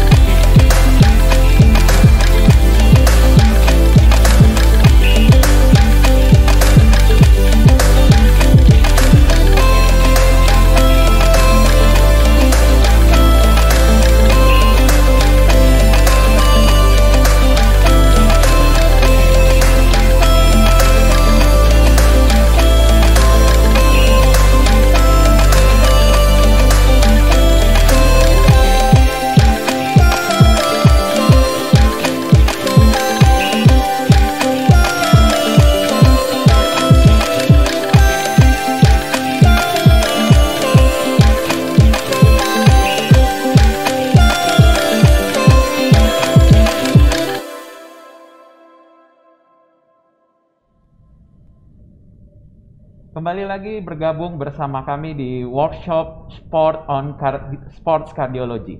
Uh, baik sejawat sekalian, kita akan beralih ke pembicara yang kedua. Uh, pembicara yang kedua ini adalah uh, kita datangkan jauh-jauh dari Padang, ya. Beliau bernama Dr. Rita Hamdani, spesialis jantung dan pembuluh darah. Uh, beliau menyelesaikan pendidikan uh, spesialis jantung dan pembuluh darah di FK Universitas Andalas pada tahun 2015 dan saat ini uh, sedang menjabat sebagai staf di bagian kardiologi dan kedokteran uh, vaskular Fakultas Kedokteran Universitas Andalas dan Rumah Sakit M Jamil Padang. Dr. Rita di sini akan memaparkan mengenai exercise in clinical cardiovascular settings. Jadi kita akan sama-sama belajar mengenai uh, latihan pada berbagai kondisi uh, klinis kardiovaskular. Baik, uh, Dokter Rita, saya berikan kesempatan 30 menit ke depan. Saya persilahkan. Assalamualaikum warahmatullahi wabarakatuh. Terima kasih Dr. Bambang atas kesempatan yang telah diberikan. Terima kasih juga sebelumnya saya ucapkan kepada AILA, IDS Med Learning Academy, dan juga yang disponsori oleh IDS Med dan GE Healthcare Uh, kesempatan kali ini, di kesempatan kedua, saya akan mencoba menyampaikan materi tentang exercise in clinical cardiovascular setting. Nah, kita memang mengetahui dan kita juga sadar beberapa tahun terakhir kesadaran masyarakat terhadap exercise ataupun physical activity untuk meningkatkan uh, kualitas hidup untuk menurunkan angka kejadian cardiovascular disease itu sangat tinggi. Nah, terutama sejak era pandemi juga uh, olahraga menjadi salah satu primadona yang dilakukan. Nah, masalahnya kemudian adalah bagaimana exercise ini selain memberikan benefit juga tetap uh, dalam uh, memberikan uh, keamanan untuk uh, para peserta olahraga itu sendiri. Slide. Nah, exercise pada setting kardiovaskular sebenarnya bisa kita bagi menjadi dua hal, yaitu sebagai primary prevention untuk menurunkan resiko-resiko penyakit-penyakit kardiovaskular. Dan sebagai secondary prevention, uh, yang sifatnya selain untuk rehabilitasi, uh, juga untuk uh, mencegah kejadian kardiovaskular ulangan dan untuk meningkatkan fungsi-fungsi kardiovaskular lainnya. Slide. Oke, ini uh, kita bahas sedikit mengenai efek kardioprotektif dari uh, exercise ataupun regular physical activity, di mana uh, efek-efek untuk uh, proteksi terhadap kardio itu sendiri uh, memiliki beberapa mekanisme, bisa sebagai anti aterosklerotik dengan cara meningkatkan HDL, menurunkan LDL, menurunkan tekanan darah, menurunkan jaringan lemak, meningkatkan sensitivitas insulin dan juga menurunkan kejadian-kejadian inflamasi. Sebagai anti aritmia, exercise sendiri sudah terbukti akan menurunkan uh, resting heart rate, meningkatkan vagal tone, dan juga menurunkan aktivitas simpatis sekaligus meningkatkan heart rate variability. Efek lainnya adalah sebagai anti iskemik, di mana dia akan menurunkan kebutuhan dari miokard, eh, oksigenasi dari miokard kemudian meningkatkan flow dari arteri koroner, menurunkan disfungsi endotel, dan juga meningkatkan EPCS dan nitric oxide tentunya. Efek lainnya adalah sebagai antitrombotik, di mana di sini uh, dengan adanya regular physical activity atau exercise ini, maka uh, akan terjadi penurunan uh, aktivasi dari platelet, peningkatan fibrinolisis, penurunan fibrinogen, dan tentunya juga akan menurunkan viskositas darah itu sendiri. Nah, ada efek lain ternyata selain efeknya pada hal-hal tadi, yaitu efek yang bersifat psikologi. Di mana ada olah orang yang cenderung uh, rajin berolahraga atau melakukan aktivitas yang cukup tinggi, ternyata memiliki angka depresi yang rendah dan angka stres yang juga rendah dan tentunya ini akan membuat adanya social support bagi yang bersangkutan. Slide. Nah, kita sudah bahas tadi bahwa semakin tinggi level dari physical activity ataupun uh, kebugaran seseorang, sebenarnya ini efeknya makin baik untuk menurunkan angka kematian uh, akibat semua penyebab dan juga menurunkan angka kejadian penyakit-penyakit kardiovaskular. Bahkan uh, angka Eh, kesakitan karena keganasan atau malignansi. Namun di satu sisi ternyata peningkatan dari exercise ini sendiri memiliki sisi mata uang yang lain, di mana eh, kejadian-kejadian yang terkait dengan exercise uh, bisa menimbulkan yang namanya men-trigger kejadian ventricle arrhythmia yang life threatening ataupun sudden cardiac arrest untuk tentu, untuk individu-individu tertentu yang sebenarnya sudah memiliki underlying disease terhadap kardiovaskular. Nah, di mana sudden cardiac death ini adalah salah satu atau adalah penyebab utama kematian yang berhubungan dengan olahraga ataupun sport. Slide. Nah, secara angka sebenarnya uh, pelaporan angka SCD Pak yang terkait dengan olahraga, yang terkait dengan physical exertion itu sangat luas dari berbagai laporan. Angkanya sekitar 3 sampai 26 persen. Ini juga terkait dengan usia, uh, seks ataupun ras-ras tertentu. Dalam sebuah registri di Amerika Serikat dan di Inggris, 61 sampai 80 persennya uh, dari kejadian SCD pada atlet itu ternyata terjadi pada saat olahraga atau sesaat setelah olahraga itu sendiri. Walaupun insiden uh, sudden cardiac death ini, uh, sudden cardiac yang berhubungan dengan olahraga ini uh, lebih tinggi pada kompetitif atlet, namun sebenarnya jumlah yang absolutnya pada uh, olahraga yang sifatnya rekreasional juga cukup besar, lebih besar sebenarnya. Nah, ini terutama terjadi pada individu-individu yang usianya di atas 35 tahun. Justru karena itu diperlukan suatu pedoman di mana bagaimana kita memberikan presepan latihan kepada uh, pasien atau kepada individu yang ingin berolahraga agar tetap memiliki benefit olahraganya, tapi di sisi lain juga terlindungi dari berbagai risiko uh, injury, mortality ataupun sudden cardiac arrest uh, yang berhubungan dengan olahraga. Slide. Nah, bicara tentang exercise, tentu kita tidak bisa terlepas dari persiapan latihan. Nah, kita sudah sama-sama mengetahui bahwa persiapan latihan itu sendiri itu memiliki beberapa komponen. Yang pertama ada namanya uh, frekuensi, intensity, type, uh, time, volume, kemudian uh, Passion and Progression yang sering kita singkat sebagai FIT-VV. Nah, kita bahas satu-satu mengenai hal tersebut terlebih dahulu. Yang pertama adalah mengenai slide. Oke, okay, jadi exercise prescription itu sebenarnya harus uh, dibentuk uh, berdasarkan asesmen awal kita terhadap pasien, kemudian diinterpretasikan baru tampil dalam bentuk adanya fit-VV tersebut. Nah, slide Oke, apa yang dimaksud dengan frekuensi pada persiapan latihan? Nah, frekuensi ini bisa dikatakan berapa kali atau berapa hari kita melakukan olahraga dalam satu minggunya, atau pada beberapa kasus berapa sesi kita melakukan olahraga dalam uh, perharinya.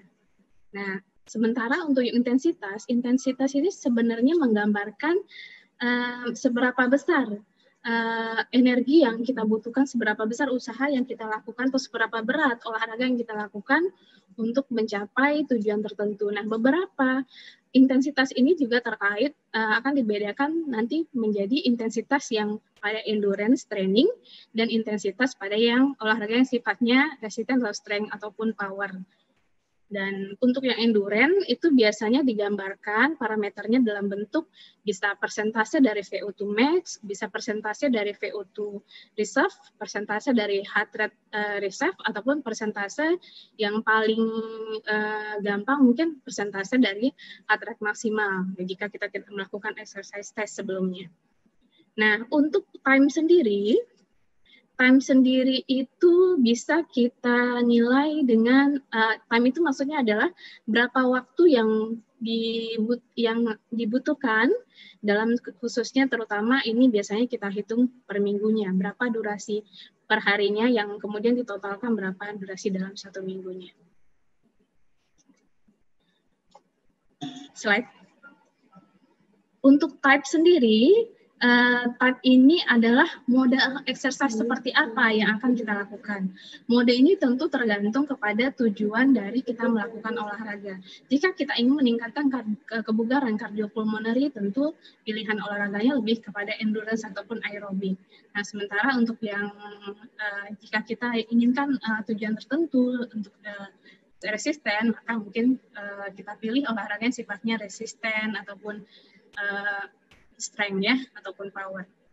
Nah, sementara yang kita namakan volume adalah hasil dari uh, frekuensi, intensitas dan waktu atau durasi yang kita lakukan biasanya di di apa diformulasikan dalam waktu seminggu. Nah, ada prinsip dalam olahraga ini bahwa olahraga itu prinsipnya adalah overload. Nah, untuk uh, mempertahankan uh, efek overload dari exercise ini sendiri, kita harus melakukan yang namanya progresi. Artinya ada peningkatan dari uh, volume latihan, apakah yang ditingkat itu dalam hal durasi, frekuensi, ataupun intensitasnya sendiri. Nah, itu semua adalah resepan latihan. Oke, slide. Nah, ini adalah uh, beberapa tabel uh, intensitas latihan yang khususnya untuk yang pada endurance. Jadi dia bisa diekspresikan atau bisa di uh, apa diukur parameternya berdasarkan VO2 max, berdasarkan heart rate maksimal. Nah, heart rate maksimal ini sendiri ada berbagai macam formula. Ada yang berdasarkan usia, yang paling sering digunakan itu adalah yang uh, 220 dikurang umur. Nah, ini uh, ada yang kita bagi nanti menjadi low intensity, moderate intensity, high intensity, dan very high intensity. Nah, uh, lain yang bisa kita gunakan adalah yang secara subjektif kita bisa pakai red uh, uh, perception of exertion scale atau yang kadang kita sering dengar juga sebagai Borg scale ya. Uh, dia punya skala 6 sampai 20 ataupun yang modified skalanya 1 sampai 10. Oke. Okay. Uh, next slide. Nah, ini contoh tipe-tipe exercise tadi pembagian tipe exercise itu ada beberapa macam. Kalau berdasarkan secara tradisional dulu hanya dibagi menjadi endurance dan resisten. Kemudian secara penggunaan energi atau metaboliknya ada yang dibagi menjadi aerobik dan anaerobik. Sementara berdasarkan tipe otot yang berkontraksi nanti akan dibagi menjadi olahraga yang sifatnya isotonik ataupun isometrik. Slide. Nah, eh, dari persiapan tadi eh, itu diharapkan bahwa olahraga yang kita inginkan itu bisa mencapai benefit ya benefit eh, seperti tadi menurunkan kardiovaskularis, menurunkan mortality. Nah, tentu ada beberapa panduan untuk menyusun itu. Nah, yang terbaru dari ESC dia sudah mengeluarkan panduan tahun 2020 ini khususnya tentang sport kardiologi. Nah, secara apa secara garis besar kita um, membaginya menjadi tiga hal ya uh, pada individu sehat, pada individu dengan uh, yang memiliki faktor risiko, dan pada individu uh, yang memang uh, memiliki penyakit-penyakit kardiovaskular. Tapi mungkin untuk yang memiliki penyakit kardiovaskular ini uh, kalau di guideline sendiri sangat banyak sebenarnya jenis-jenis penyakitnya. Mungkin nanti akan kita hanya pilih-pilih memang penyakit yang memang uh, secara uh, insiden secara epidemiologi dia termasuk yang angka kejadiannya tinggi. Oke, kita masuk yang pertama slide. Oke. Oke, okay. exercise pada individu yang sehat. Nah, next. Nah, pada individu yang sehat sebenarnya tidak ada batasannya tidak ada batasan untuk melakukan pada dewasa dengan individu yang sehat ya, tidak ada batasan. Nah, olahraga yang dianjurkan itu minimum, artinya paling tidak ada uh, dia melakukan olahraga 150 untuk endurance yang sifatnya dengan intensitas moderate itu 150 menit dan itu dibagi dalam lima hari. Atau jika dia uh, melakukan intensitasnya vigorous ataupun high intensity maka minimal harus me, dalam seminggunya 75 menit yang dibagi menjadi tiga hari. Nah, efek atau benefit dari olahraga ini tentu akan lebih tinggi jika ini bisa ditingkatkan dua kali lipatnya yaitu 300 menit moderate intensity uh, endurance exercise dalam lima hari ataupun uh, 150 vigorous exercise uh, dalam yang dibagi dalam tiga hari. Nah,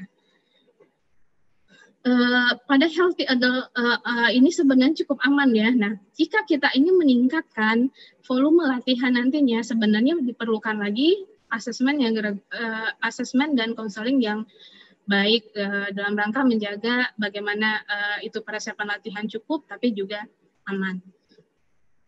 Next. Oke. Okay.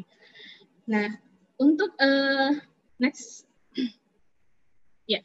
jadi sebenarnya jika kita melakukan olahraga yang sifatnya low to moderate, uh, yang sifatnya uh, rekreasional, sorry, jika kita berpartisipasi pada olahraga yang sifatnya rekreasional sport, ya itu penilaian individu-individu uh, yang dengan low until moderate CV risk itu uh, tidak perlu penilaian evaluasi lebih lanjut, cukup mungkin kita menilai apakah ini dia beresiko, memiliki resiko sividiris atau tidak. Nah, yang seperti apa yang termasuk low moderate sividiris nanti akan kita lihat pada slide berikutnya. Nah, untuk sementara untuk yang uh, olahraga yang sifatnya kompetitif, maka uh, diperlukan cardiac screening family history, kemudian penilaian simptom, pemeriksaan uh, physical examination, dan juga pemeriksaan EKG yang 12 lead. Itu uh, tapi ini mungkin lebih khusus pada yang sifatnya uh, kompetitif atlet ataupun yang sifatnya high intensity. Nah, untuk yang individu dengan high risk, severe maka penilaian uh, clinical evaluation tentu sangat dibutuhkan.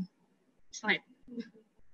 Nah, ini ada algoritma uh, yang kita bisa kita jadikan acuan untuk uh, mengakses individu-individu uh, khususnya yang di atas 35 tahun yang akan menjalani suatu exercise. Nah, kita lihat di sini kita lihat CV diris. CV diris ini kalau dia termasuk golongan CVD-RIS yang bisa kita ukur dengan skor, skor itu adalah uh, risk stratification yang dikeluarkan oleh ESC untuk menilai uh, uh, resiko kardiovaskular pada individu. Nanti kita ada chartnya juga akan diperlihatkan pada slide berikutnya.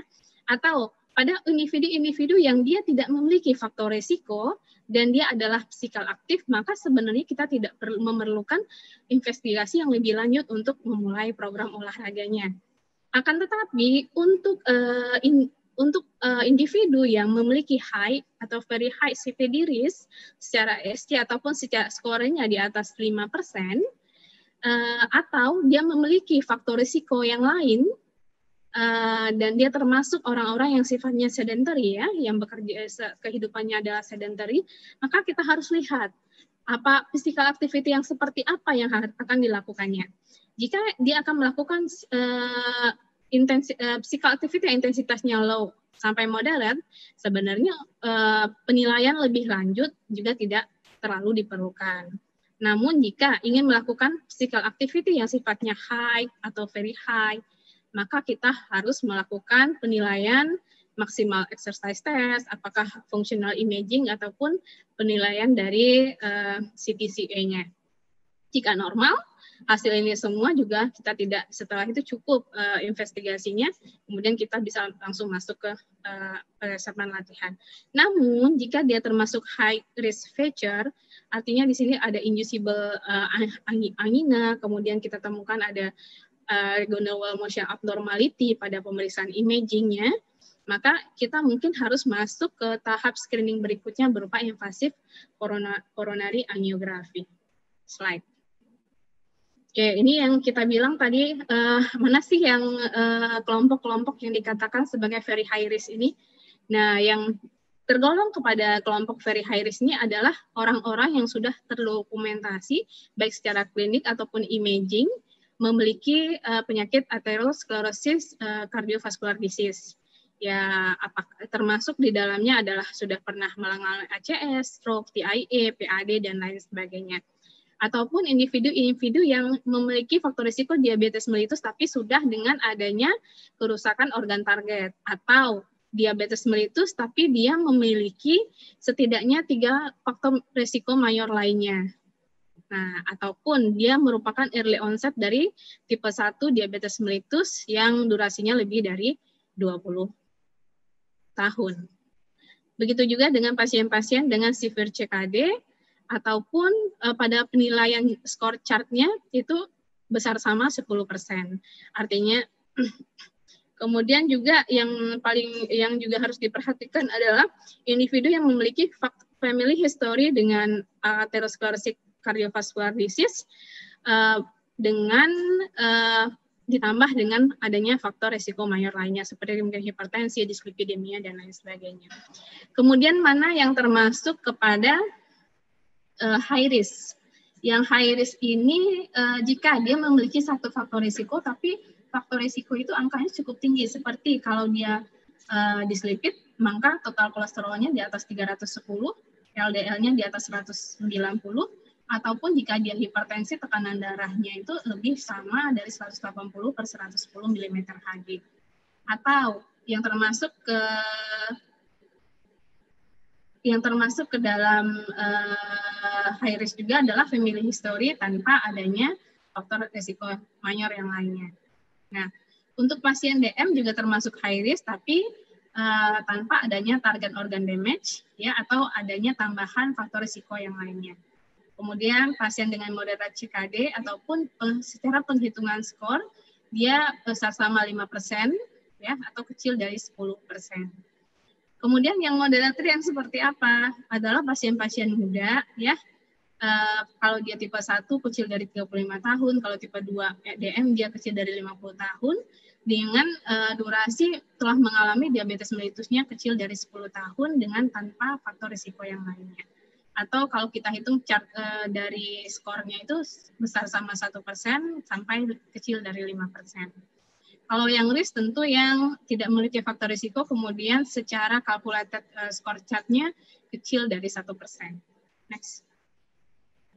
Oke, ini adalah uh, skor kardiovaskular uh, chart ya ini uh, eh, ESC yang mengeluarkan dia membagi nanti ada yang high risk, kemudian ada yang eh, negara-negara uh, dengan yang low risk. Nah, kalau Indonesia sendiri sebenarnya termasuk yang kategori high risk ini ya. Jadi komponennya itu ada nanti ada berdasarkan jenis kelamin, kemudian ada uh, tekanan darah, kemudian merokok atau tidak, ada usia juga, kemudian uh, berdasarkan total kolesterolnya nanti. Nanti akan dicari angkanya seperti apa. Ini juga ada di guideline Mohon dari maaf, Dokter Rita, waktu 10 menit lagi ya, Dok. Oh iya, baik. Next. Oke. Okay. Oke. Okay. Nah, uh, beberapa special consideration pada yang individu dengan CVD risk factor. Nah, beberapa rekomendasi umum untuk yang memiliki faktor risiko obesity. Kita tahu obesity itu adalah BMI yang besar dari 30 ataupun uh, lingkar pinggangnya besar dari 94 untuk laki-laki dan besar dari 80 untuk perempuan. Nah, bagaimana olahraga yang dianjurkan pada individu seperti ini adalah sifatnya moderat sampai vigorous yang endurance training dengan waktu minimal 150 menit dalam seminggu. Dan ini sebaiknya ditambah dengan resisten training uh, setidaknya tiga kali dalam seminggu. Nah, jika kita menginginkan penurunan uh, massa lemak ataupun penurunan badan, sebaiknya ini bisa ditingkatkan menjadi high endurance exercise dengan uh, volumenya volume uh, exercise-nya dalam satu minggu itu lebih dari 225 menit atau, atau kalau kita bagi itu sekitar lebih dari 45 menit seharinya jika dilakukan dalam lima hari. Kemudian untuk hipertensi, maka uh, yang disarankan adalah intensitas moderat aerobik ya, dinamik aerobik sekitar 30 menit dalam 5 sampai 7 hari per minggu dan ini terbukti sudah menurunkan angka systolic blood pressure-nya 7 mm per Hg dan diastolic blood pressure-nya sekitar 5 mm Hg. Nah, uh, untuk beberapa individu yang sudah uh, optimal hipertensinya bisa ditambahkan dengan resisten training uh, setidaknya tiga kali dalam seminggu. Obat-obatan yang cocok untuk pasien-pasien uh, hipertensi yang, yang untuk uh, dengan keadaan olahraga adalah ACE inhibitor, ARB, dan CCB. Karena sebenarnya untuk beberapa obat seperti beta blocker dan diuretik, ini dia memiliki efek uh, yang agak tidak diinginkan jika ini melakukan yang namanya kompetitif sport. Next. Ya, untuk diabetes uh, seperti apa latihan yang diinginkan itu bisa berupa moderate atau vigorous aerobic exercise sama hampir 30 menit 5 sampai 7 hari per minggu dan juga ditambah dengan resistance training setidaknya tiga kali dalam seminggu. Uh, kombinasi dari latihan aerobik dan resisten ini ternyata mampu meningkatkan glycemic controlnya, menurunkan visceral fatnya, dan juga menurunkan resistensi insulinnya. Sementara untuk dislipid, uh, latihan yang dianjurkan adalah yang sifatnya intensitas moderat sampai vigorous, tiga setengah sampai 7 jam per minggunya, atau 30 sampai 60 menit uh, per kalinya, ini akan dapat menurunkan uh, efek utamanya adalah pada trigliserida ya, yang bisa menurun sampai 50%, meningkatkan HDL 5 sampai 10%, untuk LDL sendiri dia hanya mampu menurunkan sampai 5%. Slide. Nah, untuk yang sifatnya uh, uh, ini apa faktor risiko yang tidak bisa dimodifikasi seperti usia ya, usia-usia tua di atas 65 tahun atau geriatrik Nah, pada usia-usia seperti ini dia sebenarnya untuk resikonya agak lebih besar. Uh, seperti apa resikonya? Resiko aritmia, resiko peningkatan tekanan darah, ya, miokard iskemia, ataupun injuri fraktur dari muskuloskeletal ataupun uh, joinnya uh, dan juga akan meningkatkan resiko jatuh. Nah, namun pada individu yang walaupun sudah berusia 65 tahun, dia fit, kemudian tidak ada limitasi dalam hard mobility, sebenarnya hampir sama uh, rekomendasinya yaitu minimal moderate aerobic exercise setidaknya 150 menit dalam seminggu. Nah, namun pada yang memiliki resiko jatuh, sebaiknya kita anjurkan untuk terlebih dahulu melakukan uh, strength training untuk memperbaiki balance dan koordinasi. Ini adalah exercise prescription pada uh, orang tua. Oke, berikutnya slide. Nah, untuk exercise in individual dengan penyakit kardiovaskular ini sebenarnya tidak lepas dari uh, uh, salah juga adalah bentuk dari kardiak rehabilitasi itu sendiri. Dan untuk memulai suatu exercise ataupun memulai kardiak rehabilitation sebenarnya kita harus juga melihat kembali apa indikasi dan kontraindikasi pada uh, exercise uh, terutama yang berhubungan dengan kardiak rehabilitasi. Jadi indikasinya apa? Indikasinya ya semua penyakit sebenarnya, semua penyakit jantung apakah itu stabil MI, stabil angina dan lain sebagainya. Kita masuk ke kontraindikasi slide. Oke. Okay. Nah, itu yang, yang juga harus kita perhatikan. Olahraga yang kita mulai pada pasien-pasien dengan kardiovaskularitis harus memperhatikan kontraindikasi ini. Ya, dia tidak boleh astabil angina, tekanan darahnya juga diperhatikan, ya, uh, tidak ada aktif perikarditis atau miokarditis dan beberapa hal yang tercantum di sini dan agak lama kalau disebutkan satu persatu. Ya, slide. Nah, pertama kita bahas exercise in individual with CAD ya. Ini dengan CAD. Nah, pada individu-individu CAD khususnya individu CAD yang stabil ya ataupun yang simptomatik sebenarnya bagaimana kita bisa mengakses dia sudah mengalami uh, eh, CAD itu sendiri tentu dari asesmen resiko kemudian dari uh, intensitas ini kemudian clinical evaluasi dan juga beberapa diagnostik. Nah, yang jelas uh, kita harus men-screening terlebih dahulu untuk individu-individu yang uh, asimptom asimptomatik dari CAD ini. Yang ap, apa itu asimptomatik dari CCS atau CAD itu adalah CAD without ya tidak tanpa adanya uh, iskem, uh, uh, yang terinjus oleh exercise itu sendiri. Slide. Nah, ada beberapa apa? Ada beberapa hal yang harus kita perhatikan untuk uh, yang akan uh, kita pikirkan ini akan bisa menimbulkan nanti efek-efek pada uh, individu CAD dengan intensive exercise atau competitive sport. Nah, mungkin kita langsung masuk ke algoritma dulu. Slide. Nah, ini ada clinical evaluation pada individu dengan sudah diketahui dengan CAD. Nah, harus kita lihat apakah pasien-pasien uh, CAD ini memiliki uh, inducible myocardial ischemia. Nah, jika tidak, maka kita harus lihat apakah dia itu asimptomatik, termasuk yang asimptomatik, EF-nya di atas 50 dan tidak aritmia yang diinjus dari olahraga, maka ini termasuk yang low risk. Artinya sebenarnya dia tidak uh, harus ada restriksi untuk olahraga kecuali mungkin beberapa hal tertentu. Jadi dia bisa berpartisipasi dalam intensive exercise, uh, tapi mungkin uh, restriksinya berdasarkan individual assessment. Kemudian juga untuk yang namun untuk yang inducible uh, iskemia kita harus melakukan coronary angiography di mana setelah itu kita harus melihat lesinya apakah high risk ataupun low risk. Lesi yang dinamakan lesi high risk adalah yang pada LM itu uh, stenosisnya lebih dari 50% atau pada begitu juga dengan proximal LAD ataupun memiliki two until three vessel disease yang dengan stenosis lebih dari 50% ataupun ada uh, lesi di salah satu pembuluh darah yang besar dari 90. Nah, jika uh, itu terjadi, maka itu harus dilakukan revaskularisasi. Namun jika revaskularisasi tidak mungkin untuk dilakukan, maka uh,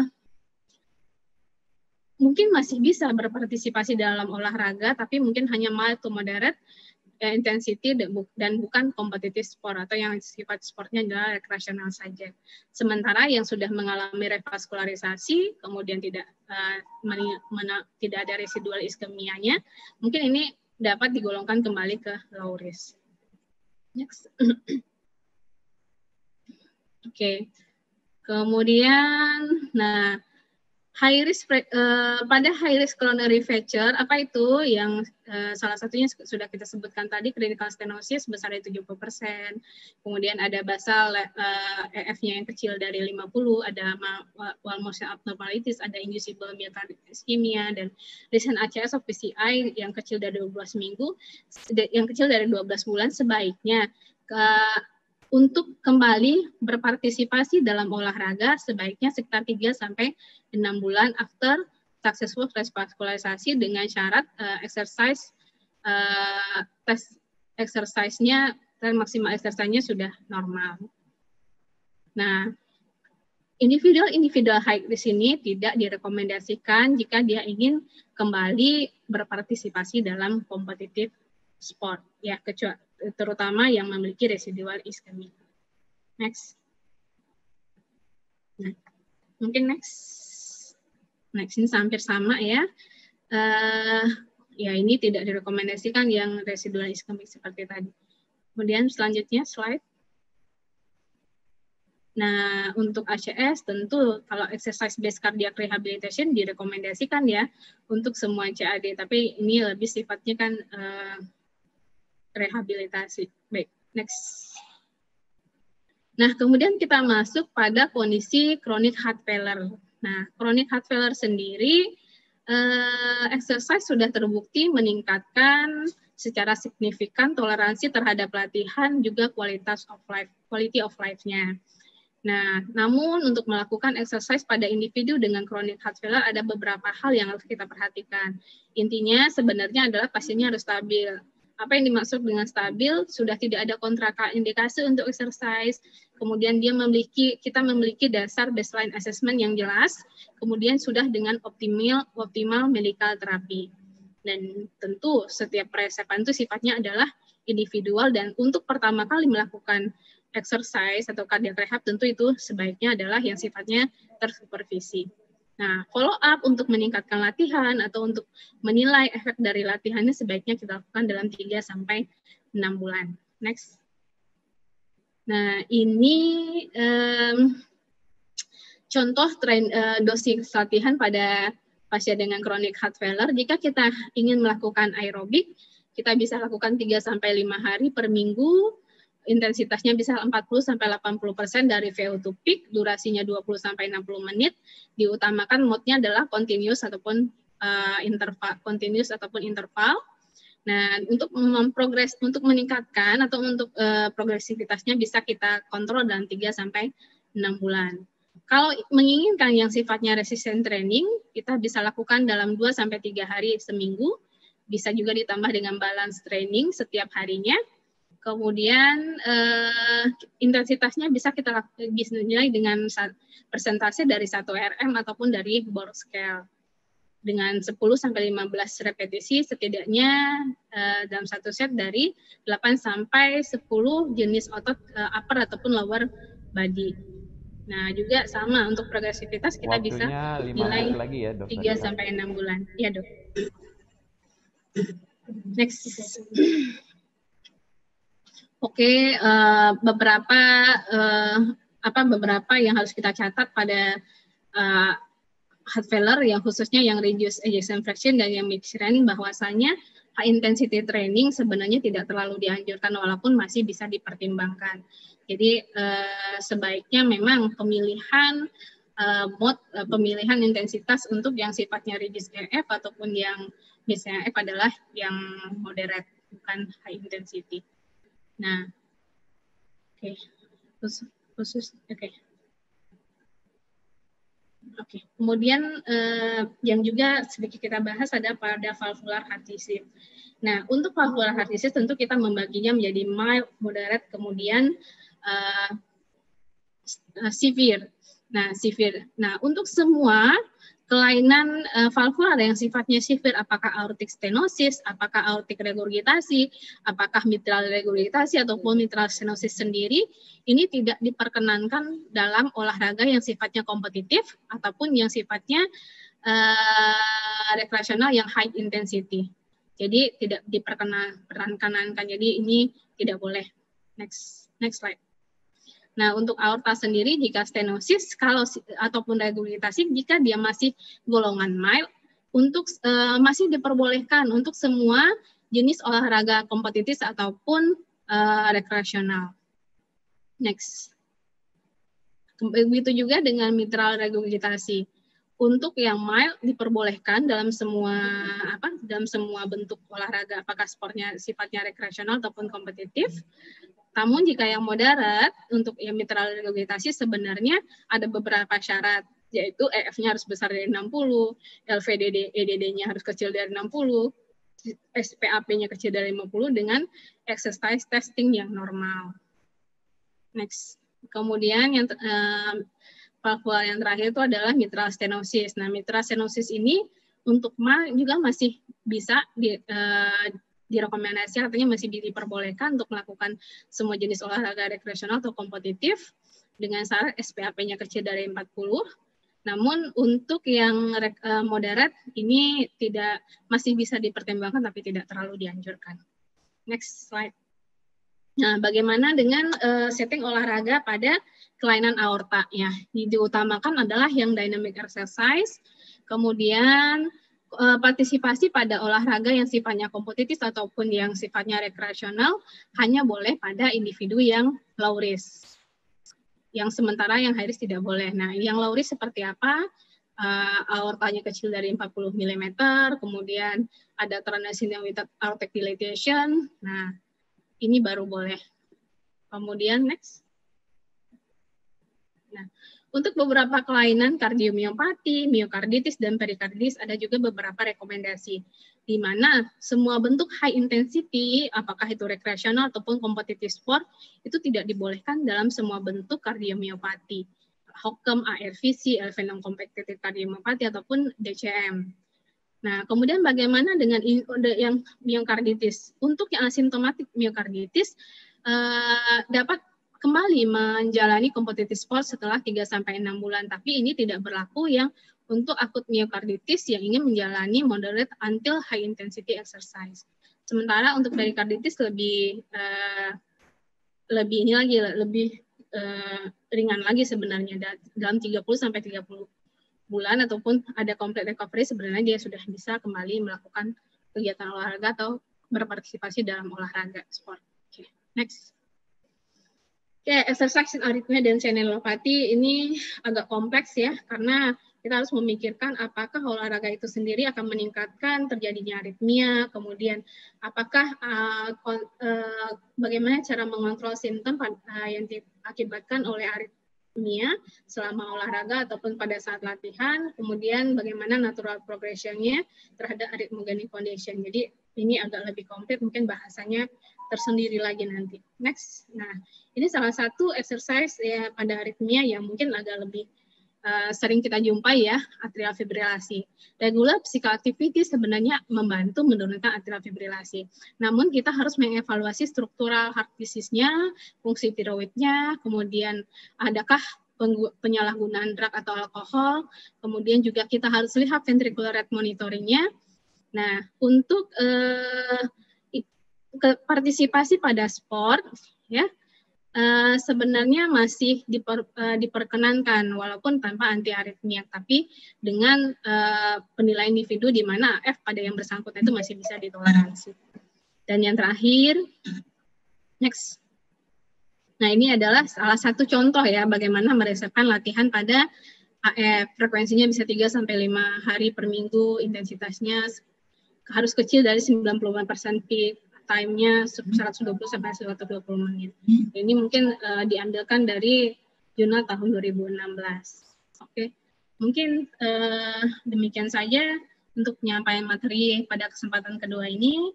Terima kasih atas waktunya. Saya kembalikan lagi kepada Dr. Bambang sebagai moderator.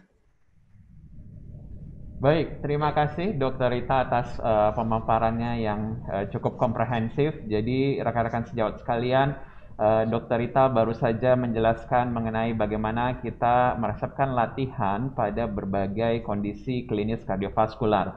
Jadi dimulai dari panduan secara umum, tadi kita ingat ada slogan FITTVP. Ya, jadi frekuensi, intensitas, kemudian time, type, volume, and progression. Kemudian Dr. Rita juga sudah memaparkan uh, beberapa kondisi klinis kardiovaskular ya terutama orang-orang yang memiliki faktor resiko dan beberapa kondisi penyakit kardiovaskular. Bagaimana cara kita melakukan presepan latihan pada pasien-pasien seperti itu. Baik, uh, sejawat sekalian jangan ke mana-mana dulu. Kita akan lanjut kepada sesi diskusi. Kita masih punya waktu sekitar 20 menitan untuk berdiskusi bersama. Uh, tentunya setelah jeda yang berikut ini.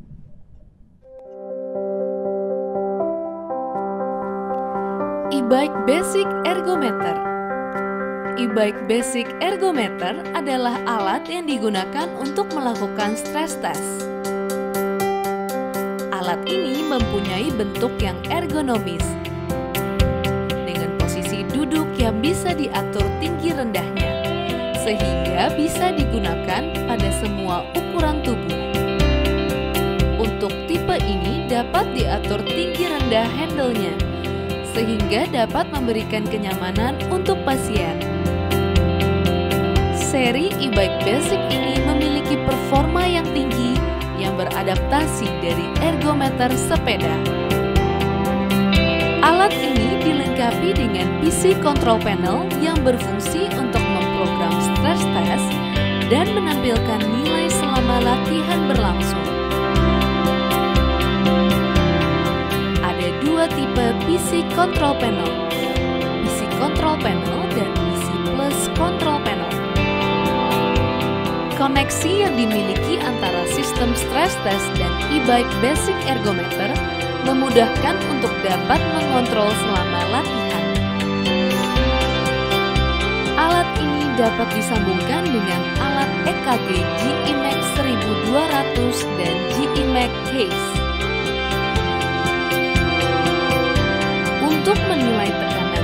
Pasien, alat ini juga dilengkapi dengan non-invasive blood pressure otomatis yang bersifat opsional. Dengan berat 64 kg, e-bike basic ergometer ini dapat dipakai mobile atau dipindahkan sehingga memudahkan rumah sakit ataupun klinik untuk melakukan medical check-up di perusahaan maupun di luar.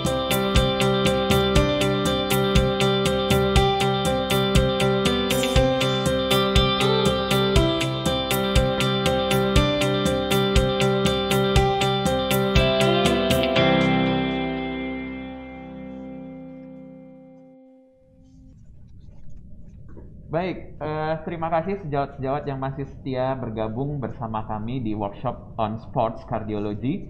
Uh, sejawat sekalian di tampilan layar sejawat sekalian sekarang sudah banyak sekali pertanyaan-pertanyaan yang masuk.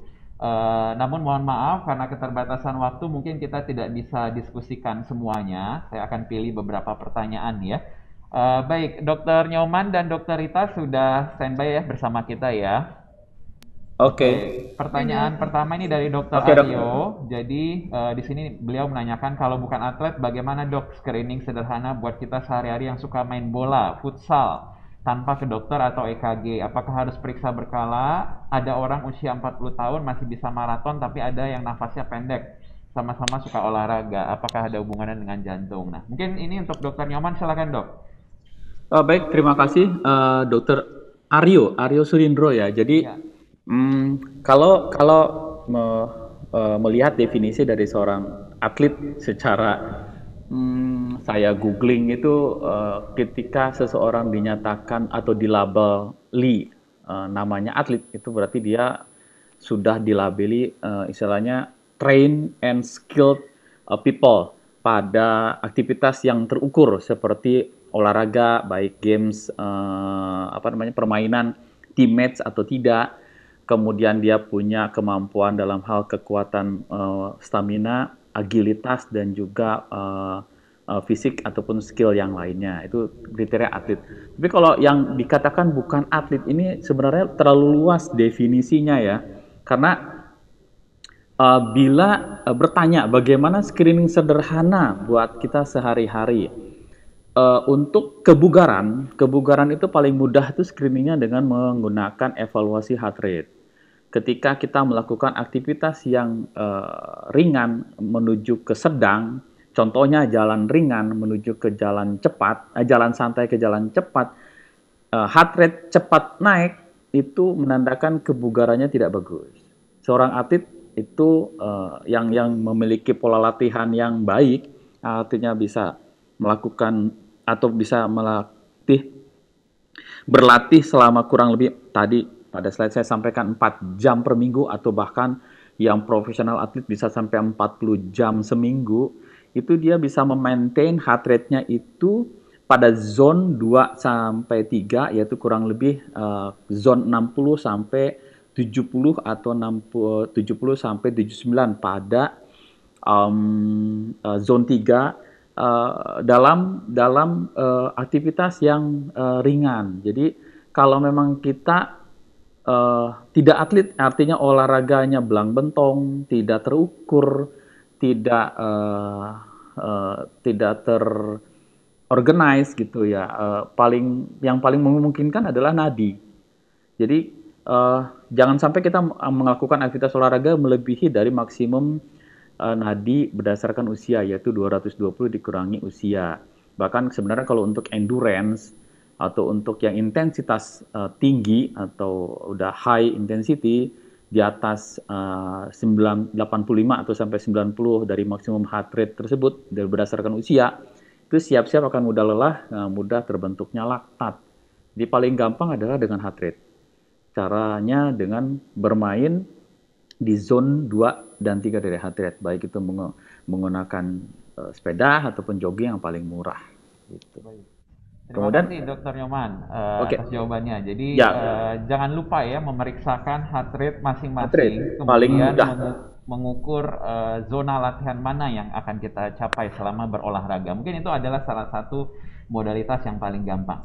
Baik, uh, saya akan beralih ke pertanyaan untuk Dokter Rita. Di sini ada pertanyaan, izin bertanya dok, apakah yang menjadi standar untuk penderita hipertensi terkontrol dalam memantau kondisi jantungnya pada saat berolahraga sepeda?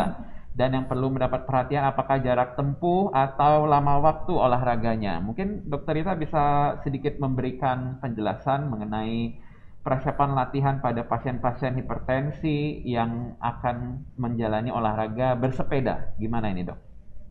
Baik. Terima kasih Dokter Bambang.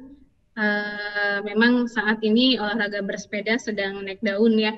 Uh, banyak sekali uh, uh, komunitas-komunitas dengan olahraga bersepeda atau yang kadang disebutnya dengan goes. Nah, uh, bagaimana cara kita uh, tetap melakukan uh, tetap bisa melakukan uh, sepeda walaupun dengan komorbid hipertensi ya uh, dan itu tetap aman untuk dilakukan. Nah, um, sebaiknya untuk individu yang seperti ini seperti yang kita sudah bahas di awal tadi kan sebenarnya sudah ada faktor resiko terhadap hipertensi. Nah, um, jika sifatnya olahraga sepeda yang Anda lakukan itu adalah sifatnya yang uh, low atau uh, moderate intensity, sebenarnya kita tidak terlalu perlu melakukan uh, apa namanya screening lebih lanjut atau pemeriksaan lebih lanjut. Tapi jika olahraga bersepedanya itu lebih dari 60 menit, kemudian ada tanjakan dan segala macam, itu kan sebenarnya sudah melebihi dari yang kita namakan sebagai uh, apa? Uh, intensitas yang bersifatnya sedang. Nah, in, bagaimana kita menilai uh, bersepeda kita sudah termasuk anti uh, apa aktivitas uh, intensitasnya sedang atau tidak? Sebenarnya yang paling gampang itu adalah pakai talk test ataupun pakai RPA ya, uh, receive uh, rate atau receive uh, exercise testing, di mana kalau kita sudah merasa berat atau sudah mulai merasa uh, cukup berat, itu sebenarnya kita sudah mulai masuk kepada yang namanya exercise uh, yang sifat intensitasnya cukup berat. Nah, kalau pada keadaan-keadaan seperti ini, sebaiknya kita terbi, uh, perlu melakukan apa namanya uh, pemeriksaan lebih lanjut. Nah, untuk yang dikatakan sebagai kelainan darah terkontrol, tentu sebelum kita melakukan latihan itu uh, kita pastikan bahwa tekanan darah kita sebaiknya itu adalah yang di bawah 140 per 90 ataupun jika kita sedang melakukan latihan sebaiknya itu tidak lebih dari 180 kita kita uh, sudah melakukan maksudnya sudah mencapai maksimal dari uh, bersepeda itu. Jadi sebaiknya itu. Nah, tetap walaupun pasien-pasien uh, dengan uh, bersepeda itu uh, ataupun dengan aerobik uh, training itu memiliki manfaat menurunkan tekanan darah juga, akan tetapi pengobatan antihipertensinya harus tetap dilanjutkan.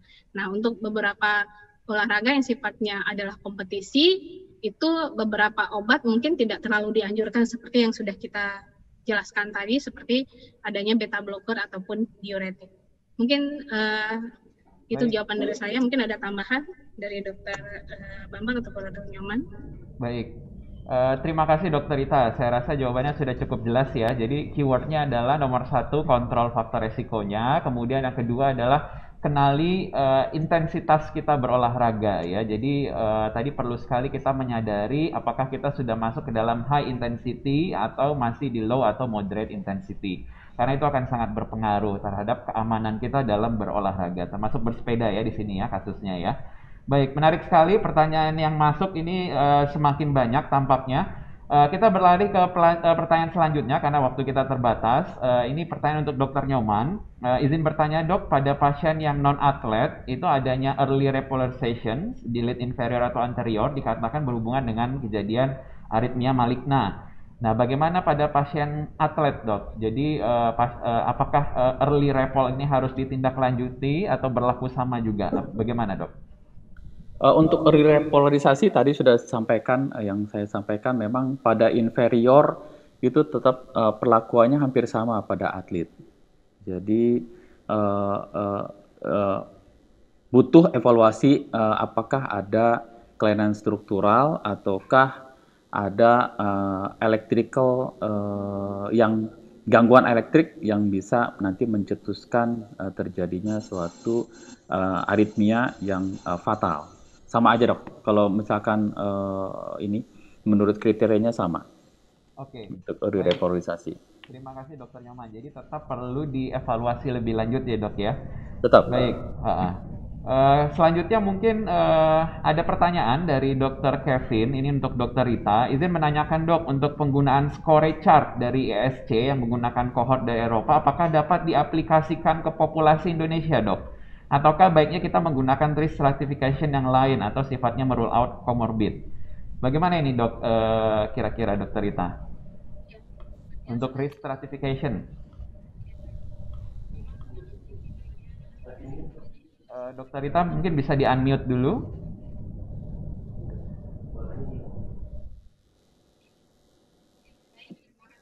Bang, suara saya sudah terdengar ya dok? Ya, sudah terdengar. Oke, baik. Uh, terima kasih atas pertanyaannya.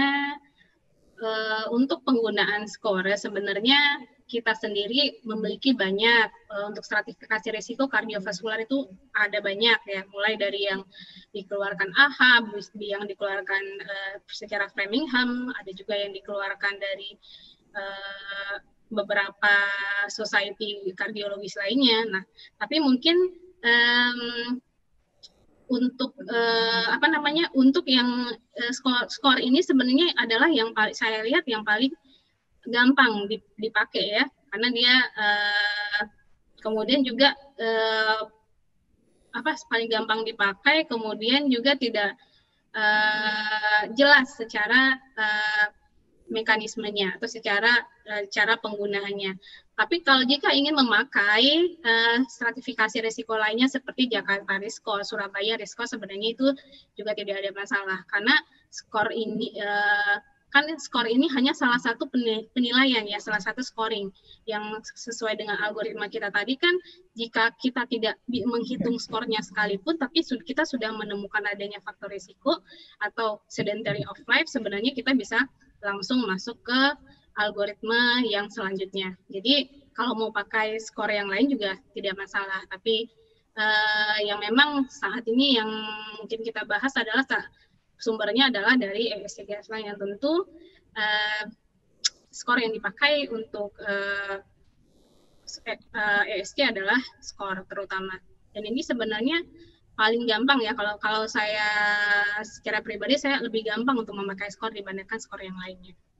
Mungkin itu jawabannya Terima kasih, Dokter Rita.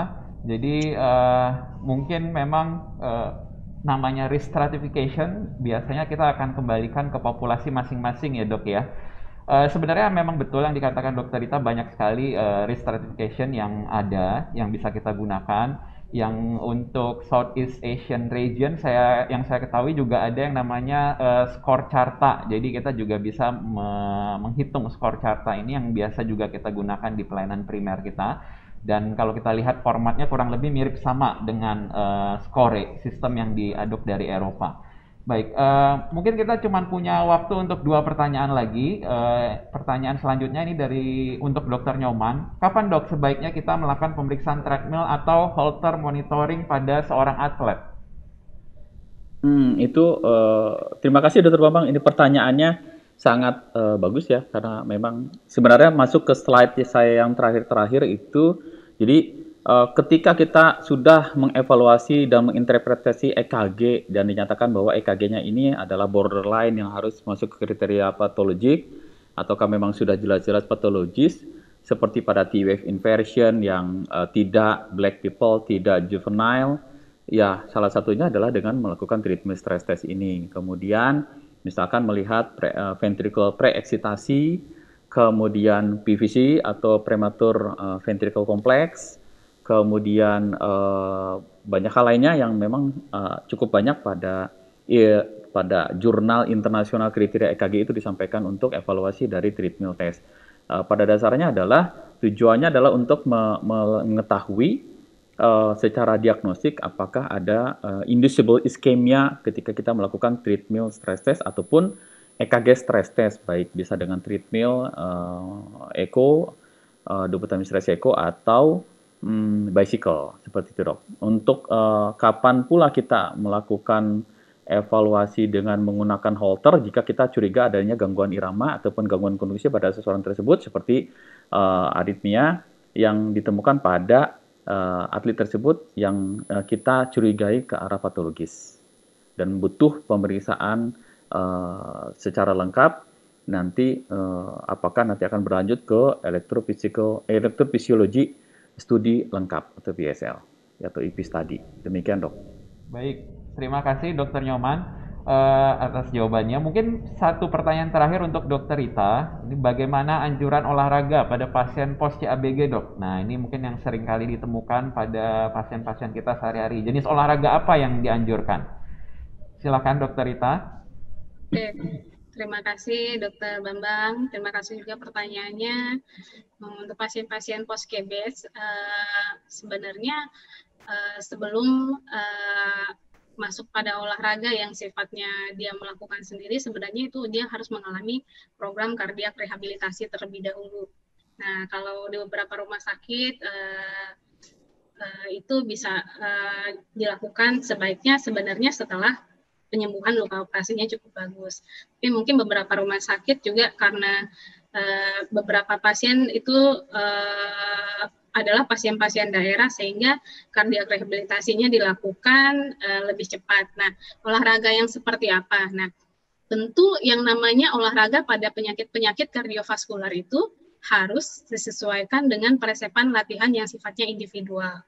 Ya, dan terutama uh, ya bagaimana cara kita meresepkan latihannya secara individual tentu sebelumnya kita harus lakukan baseline dari kemampuan kardio uh, pulmonar fitnessnya atau ke kebugarannya itu sendiri harus kita tentukan terlebih dahulu begitu juga dengan apakah ada residual iskemik pada pasien. Nah dari beberapa hal tersebut kita nanti akan bisa menentukan ini uh, intensitasnya akan seperti apa kita berikan. Nah, untuk uh, dalam hal tipe sebenarnya memang untuk ke, untuk meningkatkan kemampuan kardiopulmoner ter, terutama pertama-tama yang kita uh, resepkan itu adalah latihan yang tipenya adalah yang sifatnya aerobik ya, yang sifatnya aerobik. Kemudian nah nanti setelah kita evaluasi 3 sampai setelah setelah program rehab yang dilakukan tersupervisi di rumah sakit itu akan dievaluasi lagi. Nah, dari evaluasi itu kemudian ditentukan lagi resep latihan yang bisa dilakukan untuk eh, pasien-pasien uh, post batch ini. Nah, terutama memang untuk sementara ini yang paling gampang pemantauannya kemudian paling gampang dikerjakan adalah olahraga-olahraga yang sifatnya uh, aerobik karena itu lebih terukur ya lebih terukur dalam hal kecepatan, lebih terukur. Nah, pengukurannya selain dalam nanti kecepatan, kemudian lama waktu juga bisa kita nilai seperti tadi uh, dari uh, target heart rate yang akan uh, apa target heart rate uh, pasien tersebut. Mungkin itu dok jawaban saya. Terima kasih Dokter Rita. Jadi penting sekali untuk kita mengetahui uh, kapasitas fungsional kita, uh, kapasitas fungsional pasien-pasien kita setelah pos CABG ya, untuk meresepkan latihan yang tepat untuk pasien. Termasuk uh, jenisnya tadi Dokter Rita sudah sampaikan, diutamakan untuk uh, tipe latihan aerobik terlebih dahulu.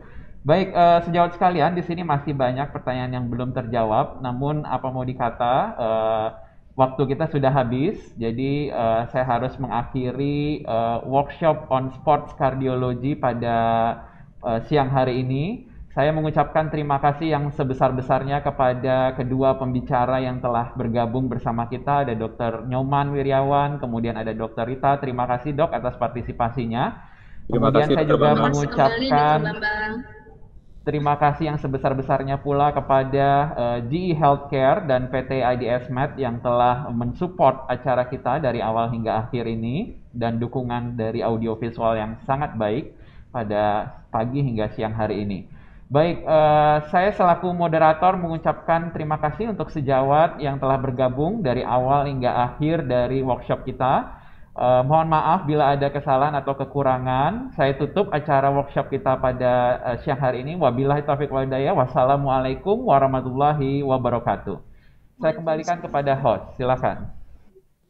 Terima kasih untuk moderator dan pembicara yang telah membawakan materi dengan sangat luar biasa. Dan saya yakin bahwa kita semua dapat mendapatkan manfaat dari workshop on sport cardiology hari ini.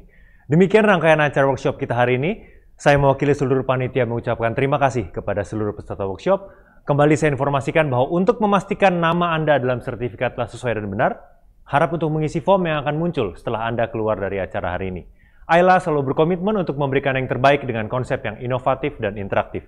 Akhir kata saya Andi Stefano mohon pamit. Salam sehat, tetap semangat, tetap menjaga protokol kesehatan dengan mencuci tangan, menjaga jarak, dan jangan lupa memakai masker.